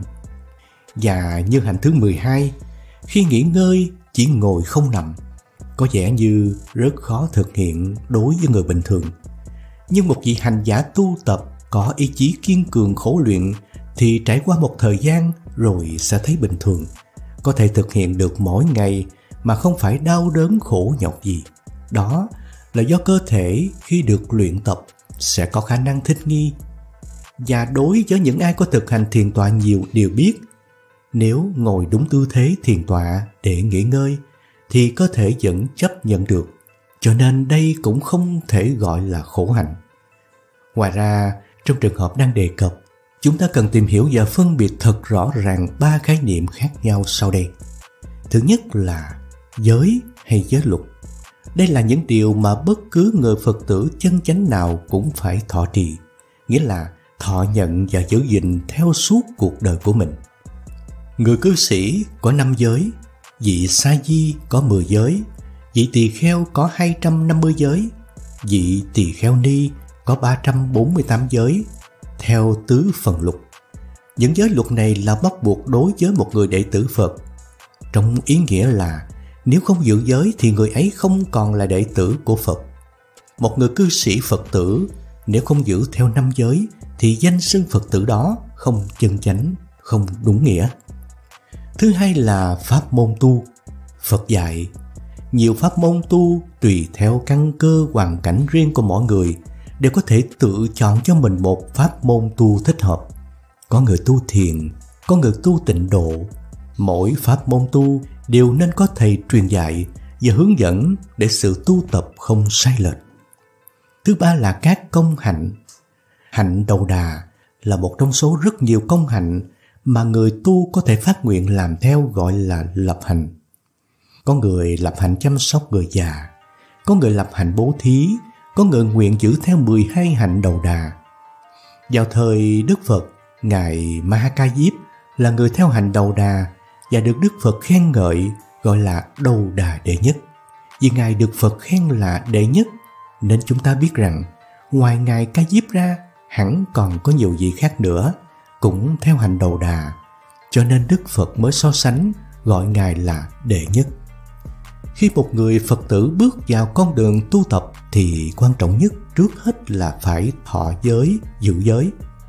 Chính vì tầm quan trọng này, Đức Phật đã từng dạy trong kinh Đại Bát Niết Bàn rằng sau khi Ngài nhập diệt, các vị tỳ kheo và lấy giới luật làm thầy. Nếu một tỳ kheo không giữ giới luật thì không còn là tỳ kheo nữa. Sau khi đã thọ giới, người tu hành cần phải chọn một pháp môn tu. Chính pháp môn tu mới là con đường đưa đến sự giải thoát, giác ngộ. Pháp môn tu giúp ta nhận biết về chứng nghiệm chân lý. Ở đây là bốn chân đế, tức là tứ diệu đế, do Đức Phật thuyết giảng. Khi tu tập theo pháp môn đã chọn, chúng ta giảm bớt tham sân si phiền não. Sự giảm dần này nếu được duy trì và ta cứ tiếp tục tu tập tinh tấn thì mỗi ngày sẽ càng thêm thanh thản an lạc. Đó chính là hướng dần đến sự giải thoát. Cuối cùng, việc lập hạnh là một phương tiện hỗ trợ trên đường tu. Người tu hành có lập hạnh và kiên trì giữ hạnh tu thì việc tu tập sẽ hiệu quả hơn. Có thể hình dung giống như một chiếc xe. Nếu được lắp thêm động cơ phụ sẽ chạy nhanh hơn. 12 hành đầu đà có thể nói là một loại động cơ phụ rất mạnh mẽ. Cho nên nếu người tu tập có thể giữ theo các hạnh này thì sự tu tập sẽ càng tinh tấn, hiệu quả hơn. Tuy nhiên, bản thân các hành đầu đà không phải là một pháp tu nên chỉ có thể có tác dụng trợ giúp mà thôi. Ngoài ra cũng cần lưu ý một số điểm tương đồng giữa giới luật và các hành đầu đà. Chẳng hạn như hành thứ tư, mỗi ngày chỉ ăn một bữa. Thật ra vào thời Đức Phật là áp dụng cho tất cả các vị tỳ kheo, không cần phải là người theo hành đầu đà. Người nào ăn sau giờ ngọ tức là giữa trưa, gọi là ăn phi thời, nghĩa là không đúng giờ, trái giờ. Hoặc như hạnh thứ 8 chỉ có 3 tấm y, thật ra là cũng được áp dụng cho tất cả các tỳ kheo vào thời Đức Phật, không chỉ riêng với người theo hành đầu đà. Tuy nói là ba y, nhưng thực ra chỉ là ba phần khác nhau để hợp thành một bộ y phục đầy đủ. Và người tu hành chỉ có một bộ đó mà thôi.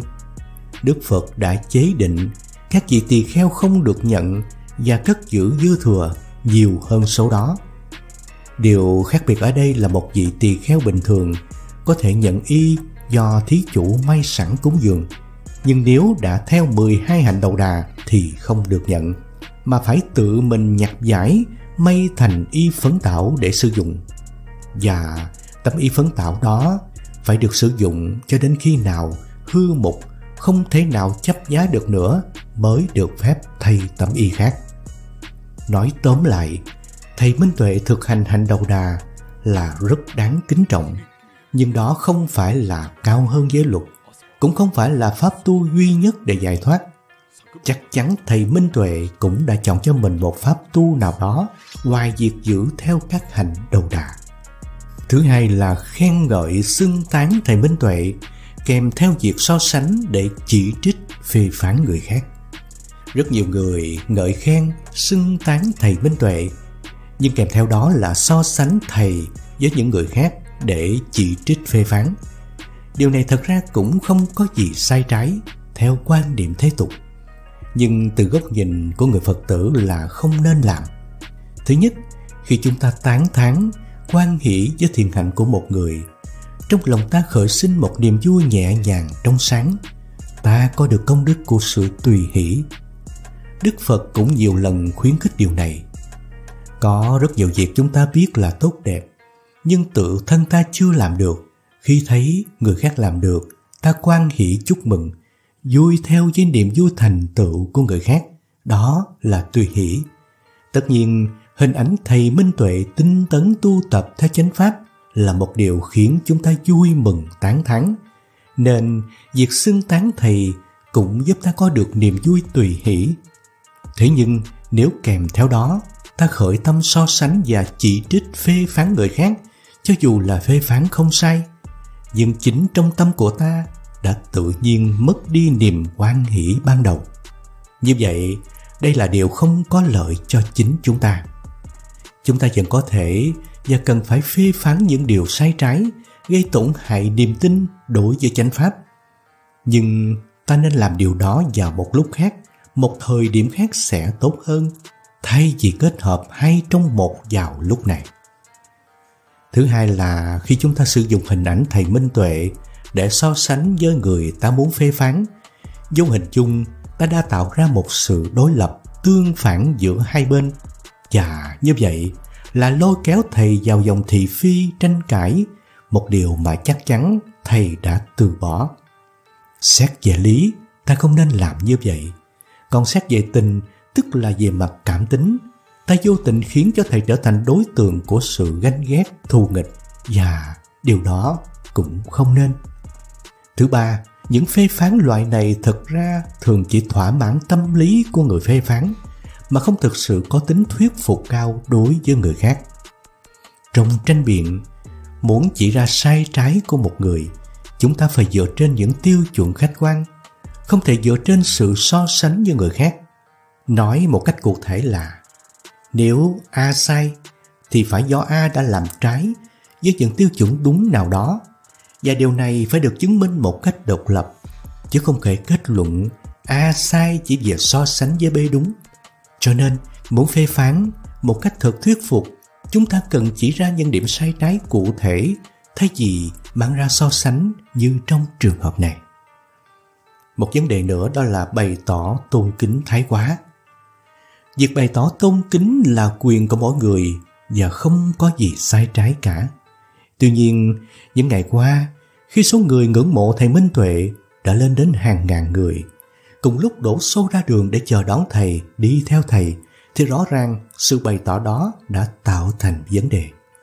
Trên nhiều đoạn đường, người ủng hộ thầy quá đông đã tràn ngập cả mặt đường, gây tắc nghẽn giao thông. Sự bày tỏ thái quá này rõ ràng có thể tạo ra khó khăn cho sự tu tập của thầy Minh Tuệ.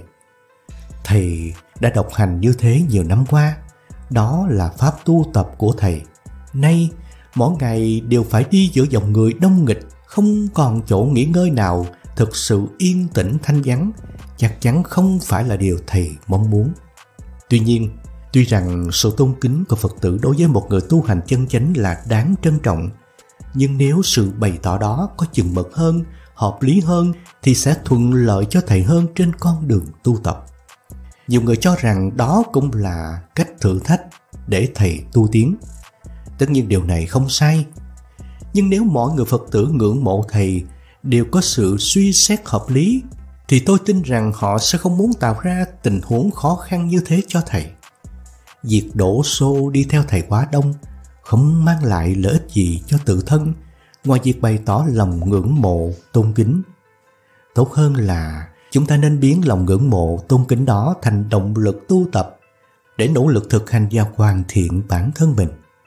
Khi chúng ta làm được như vậy, chẳng những tự thân ta được lợi lạc mà chắc chắn thầy cũng được chia sẻ một phần công đức giáo hóa. Đây mới chính là ý nghĩa tôn kính thiết thực nhất. Theo một chiều hướng khác, nhiều người lại ca tụng thầy Minh Tuệ như một vị thánh sống là Phật Di Lặc ra đời. Đây là một sự sai lầm, lệch hướng nghiêm trọng. Đối với một người đã tự nói rằng mình đang tập học thì sự tôn xưng thái quá không phải là yêu kính thầy mà thực sự đang vô tình gây khó cho thầy. Trong thực tế, ở cõi phàm thánh đồng cư này, chúng ta là những người phàm mắt thịt, thì ngay cả khi có duyên may ở bên cạnh một vị thánh cũng không thể nào nhận biết được. Còn việc chỉ dựa vào những gì đã nghe biết về thầy Minh Tuệ mà tôn xưng thầy là bậc thánh thì e rằng có phần thái quá. Hơn nữa, việc tôn xưng như thế cũng không giúp gì cho sự tu tập của thầy cũng như cho chính chúng ta vậy. Tốt nhất, hãy xem thầy là một bậc thầy qua việc thực hành tinh tấn và nghiêm túc lời Phật dạy đã nêu cho chúng ta một tấm gương sáng để nhìn theo và học hỏi. Sau đây là những niềm vui và nỗi buồn trong câu chuyện này. Chỉ một thời gian ngắn sau khi hiện tượng thầy Minh Tuệ tràn ngập trên các trang mạng xã hội, nhiều hệ quả khác nhau đã phát sinh. Mặc dù thầy Minh Tuệ đã tu tập theo cách này từ nhiều năm qua, nhưng chỉ một thời gian rất ngắn gần đây, khi các youtuber, tiktoker, facebooker gần như liên tục đưa lên những hình ảnh, câu chuyện về thầy, thì những ảnh hưởng rộng khắp mới bắt đầu phát sinh theo nhiều chiều hướng khác nhau. Trong thực tế, những hành giả Phật giáo có sự thực hành giống như thầy Minh Tuệ cũng rất nhiều. Tại hầu hết các nước theo truyền thống Nam Tông, các vị tỳ kheo đều nghiêm túc duy trì truyền thống khất thực mỗi ngày, ngay cả khi họ tu tập cố định ở một trụ xứ. Và số người thực hành diễn du để tu tập cũng không ít. tại Thái Lan, các hành giả tu tập theo truyền thống thiền trong rừng của Ngài Asachan cũng có nếp sống vô cùng khắc khổ, thiếu thốn nhiều tiện nghi nếu so với cuộc sống của người bình thường. Người Phật tử ở những nơi đó tuy tôn kính các vị nhưng không bộc phát thành một hiện tượng quá ồn ào như ta vừa chứng kiến. Điều này hẳn phải có nguyên nhân khác biệt của nó.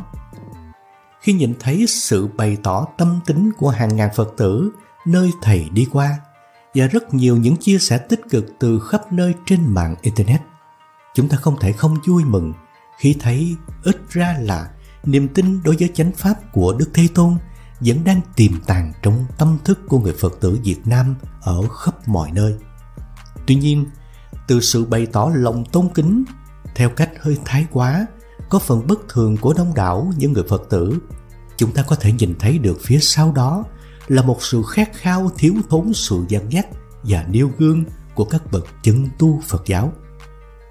Việc thầy Minh Tuệ không nhận tiền cúng dường của bất kỳ ai mà chỉ xin thực phẩm vừa đủ ăn mỗi ngày một lần đúng ra chỉ là điều rất bình thường theo đúng lời Phật dạy thì lại trở thành một hiện tượng rất lạ đối với nhiều người dân. Đó là vì từ xưa đến nay họ chưa từng gặp. Và bàn đến việc này thì quả thực có nhiều vấn đề nan giải. Nhưng nếu muốn Phật giáo phát triển lành mạnh và dài lâu thì không thể không đề cập đến.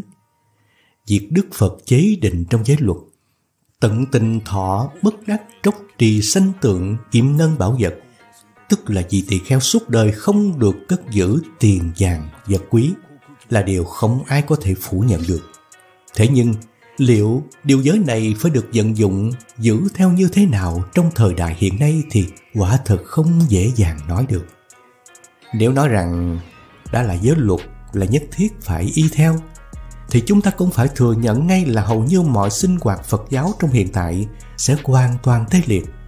Tuy nhiên theo chiều hướng ngược lại, nếu một vị tỳ kheo lại hầu như quên hẳn đi, xem như chưa từng nghe biết đến điều giới này thì cũng là điều hoàn toàn không thể chấp nhận được. Bởi vì điều đó rõ ràng dễ dàng dẫn đến sự lạm dụng niềm tin của tính thí, dẫn đến sự phóng túng buông thả và thậm chí là xa đọa trong nếp sống của nhiều tăng sĩ.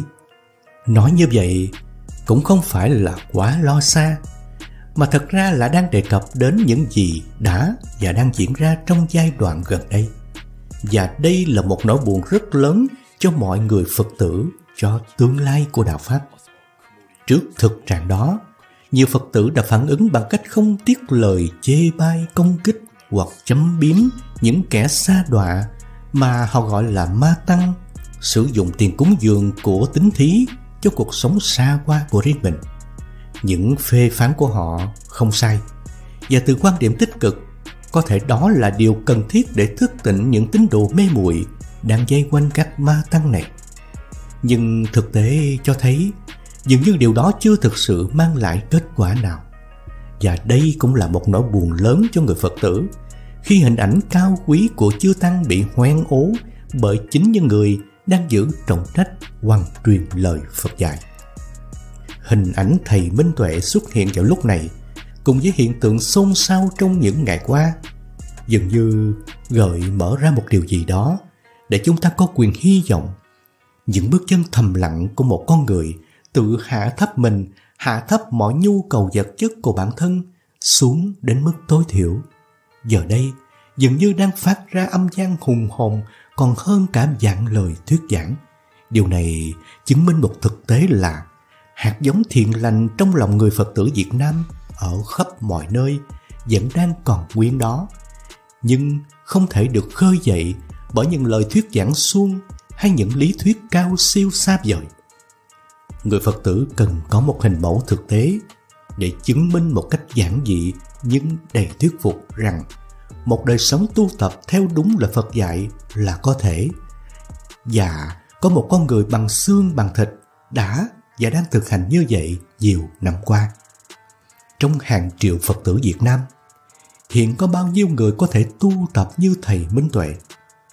Tôi không có ý nói đến việc rập khuôn với pháp bộ hành như Thầy, nhưng chỉ cần là thực sự chuyên tâm tu tập theo đúng lời Phật dạy, ở đâu đó trên đất nước này tôi tin chắc rằng vẫn có những vị tăng ni với đạo tâm kiên cố và tấm lòng thiết tha với đạo Pháp đang âm thầm tu tập như vậy, nhưng ít người biết đến. Thầy Minh Tuệ chỉ là một trong số họ vừa được công chúng nhìn thấy do những nhân duyên tình cờ, nhưng có thể chính là một gợi mở để cộng đồng Phật tử được biết đến nhiều người khác nữa. Sẽ là thế nào nếu chúng ta có được hai, ba cho đến rất nhiều vị tiếp tục hiện ra? Sẽ thế nào nếu sẽ có một, hai, ba cho đến nhiều ngôi chùa mà tăng chúng ở đó ai cũng tam y nhất bác? Mỗi ngày chỉ nhận cúng dường thực phẩm vừa đủ ăn và nỗ lực tinh cần tu tập. Cho dù các vị ấy không thuyết pháp, những phật tử dây quanh các vị cũng sẽ luôn được thấm dùng pháp vị. Và chắc chắn là niềm tin vào tam bảo của họ sẽ ngày càng kiên cố hơn. Tuy nhiên, với sự chuyên tâm tu tập đúng chánh pháp và học hỏi kinh điển thì chắc chắn là bất kỳ điều các vị nói ra sau đó cũng đều sẽ là chánh pháp. Đức Thế Tôn dạy rằng tất cả các pháp đều do nhân duyên, hợp tán thành hoại cũng đều do nhân duyên. Nếu duyên lành đã đến, hẳn những điều như trên sẽ không chỉ còn là mơ ước của người Phật tử. Nhưng nếu nhân duyên không hội đủ, thì ít ra đây cũng là một tiếng chuông cảnh tỉnh và người Phật tử phải luôn nhớ rằng dù trong bất cứ hoàn cảnh nào thì nỗ lực tu tập của tự thân mỗi người vẫn luôn là yếu tố quyết định cuộc đời của chính mình. Và sau đây là lời kết cho câu chuyện này. Anh Đỗ Hồng Ngọc kể lại rằng một lần anh đến thăm hòa thượng Thích Thanh Từ và thưa hỏi nhiều chuyện. Lúc anh ra về, anh thưa với thầy rằng nãy giờ học với thầy nhiều quá Giờ xin thầy một chữ thôi trước khi về. Thầy cười và nói đúng một chữ buông. Thật tuyệt vời. Tôi tâm đắc với sự tóm gọn này. Suy cho cùng, cuộc đời của mỗi chúng ta từ lúc bắt đầu ngậm bầu sữa mẹ là đã bắt đầu bám dấp. Khi thấy có người đến gần là đưa tay che bầu sữa bên kia để giữ riêng cho mình. Càng lớn lên, những thứ mà ta bám chấp cũng ngày càng nhiều hơn, chứ không chỉ là việc đưa bàn tay bé xíu che bầu sữa mẹ. Thế rồi, có duyên lành đến với Phật Pháp, ta học được biết bao điều cao quý. Nhưng xét cho cùng, bất cứ điều nào trong số đó dường như cũng đều hướng ta đến sự buông xả. Rồi trải qua biết bao nhiêu dùi dập khổ đau trong cuộc sống, Cuối cùng chúng ta mới có thể nhận ra một điều đơn giản là càng buông được nhiều thứ, cuộc sống của ta càng thanh thản, nhẹ nhàng hơn. Và hơn thế nữa, còn có một quy luật bất biến muôn đời là cho dù ta không học được cách buông xả thì đến phút cuối đời rồi ta cũng phải buông tất cả. Hình ảnh thầy Minh Tuệ đầu trần chân đất, thanh thản bước trên con đường đã cho tôi một ấn tượng vô cùng sống động về chữ buông. Ở hình ảnh đó, nếu xét theo những nhu cầu của một con người đang sống, dường như ta không còn tìm được bất cứ một thứ gì để có thể buông ra được nữa. Một tấm y không thể dùng cho ai khác. Một ruột nồi cơm điện nếu dứt đi, e rằng cũng không có người nhặt lấy. Và chỉ có vậy không còn gì khác trên tấm thân xác thịt của thầy. Ấy vậy mà, có lúc thầy đã nói, con chỉ còn cái mạng này, nếu còn sống thì con tu tiếp. Hóa ra mạng sống mới chính là tài sản quý giá nhất thầy chưa buông, vì con đang giữ lại để tu tiếp. Có phần chắc chắn là trong một thời gian nữa, những quan tâm đến thầy Minh Tuệ sẽ dần dần lắng xuống. Và tôi mong là như vậy để thầy có thể tiếp tục những bước chân tu tập an tĩnh và an vui của thầy. Mặc dù vậy, hình ảnh đơn sơ mộc mạc của thầy trong những ngày qua đã để lại trong tôi nhiều ấn tượng tốt đẹp.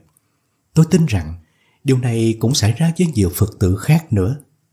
Chúng ta luôn cảm thấy mình còn thiếu thốn điều này vật khác.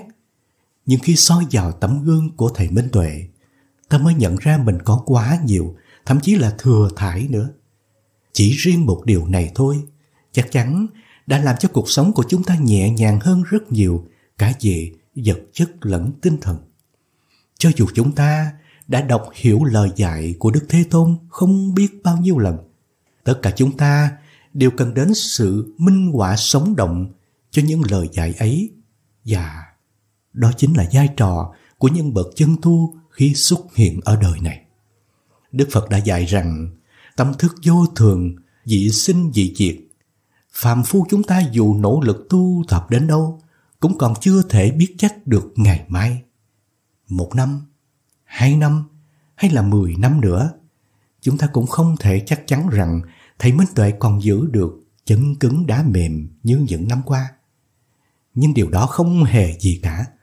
Ngọn đèn phước tuệ chỉ một lần tỏa sáng cũng đã đủ để giúp ta soi thấy những gốc khuất trong chính tâm hồn của mình. Sự hoàn thiện của mỗi người vẫn thuộc về nỗ lực của bản thân mình. Tôi thực sự vui mừng với cơ duyên được biết đến hình ảnh tu tập của Thầy Minh Tuệ.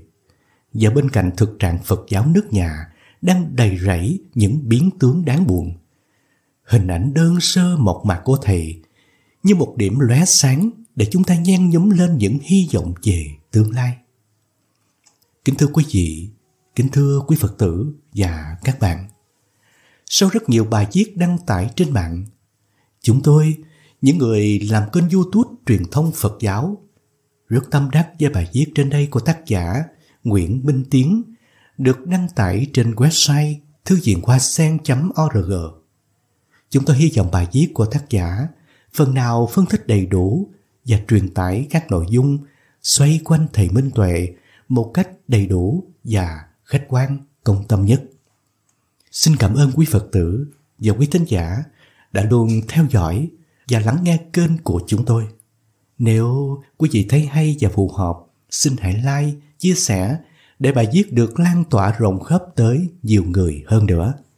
Đồng thời, cũng hãy đăng ký kênh để theo dõi những video mới nhất về Thầy Thích Minh Tuệ. Kính chúc quý Phật tử và quý thính giả thân tâm luôn an lạc, gặp nhiều may mắn và bình an, hạnh phúc.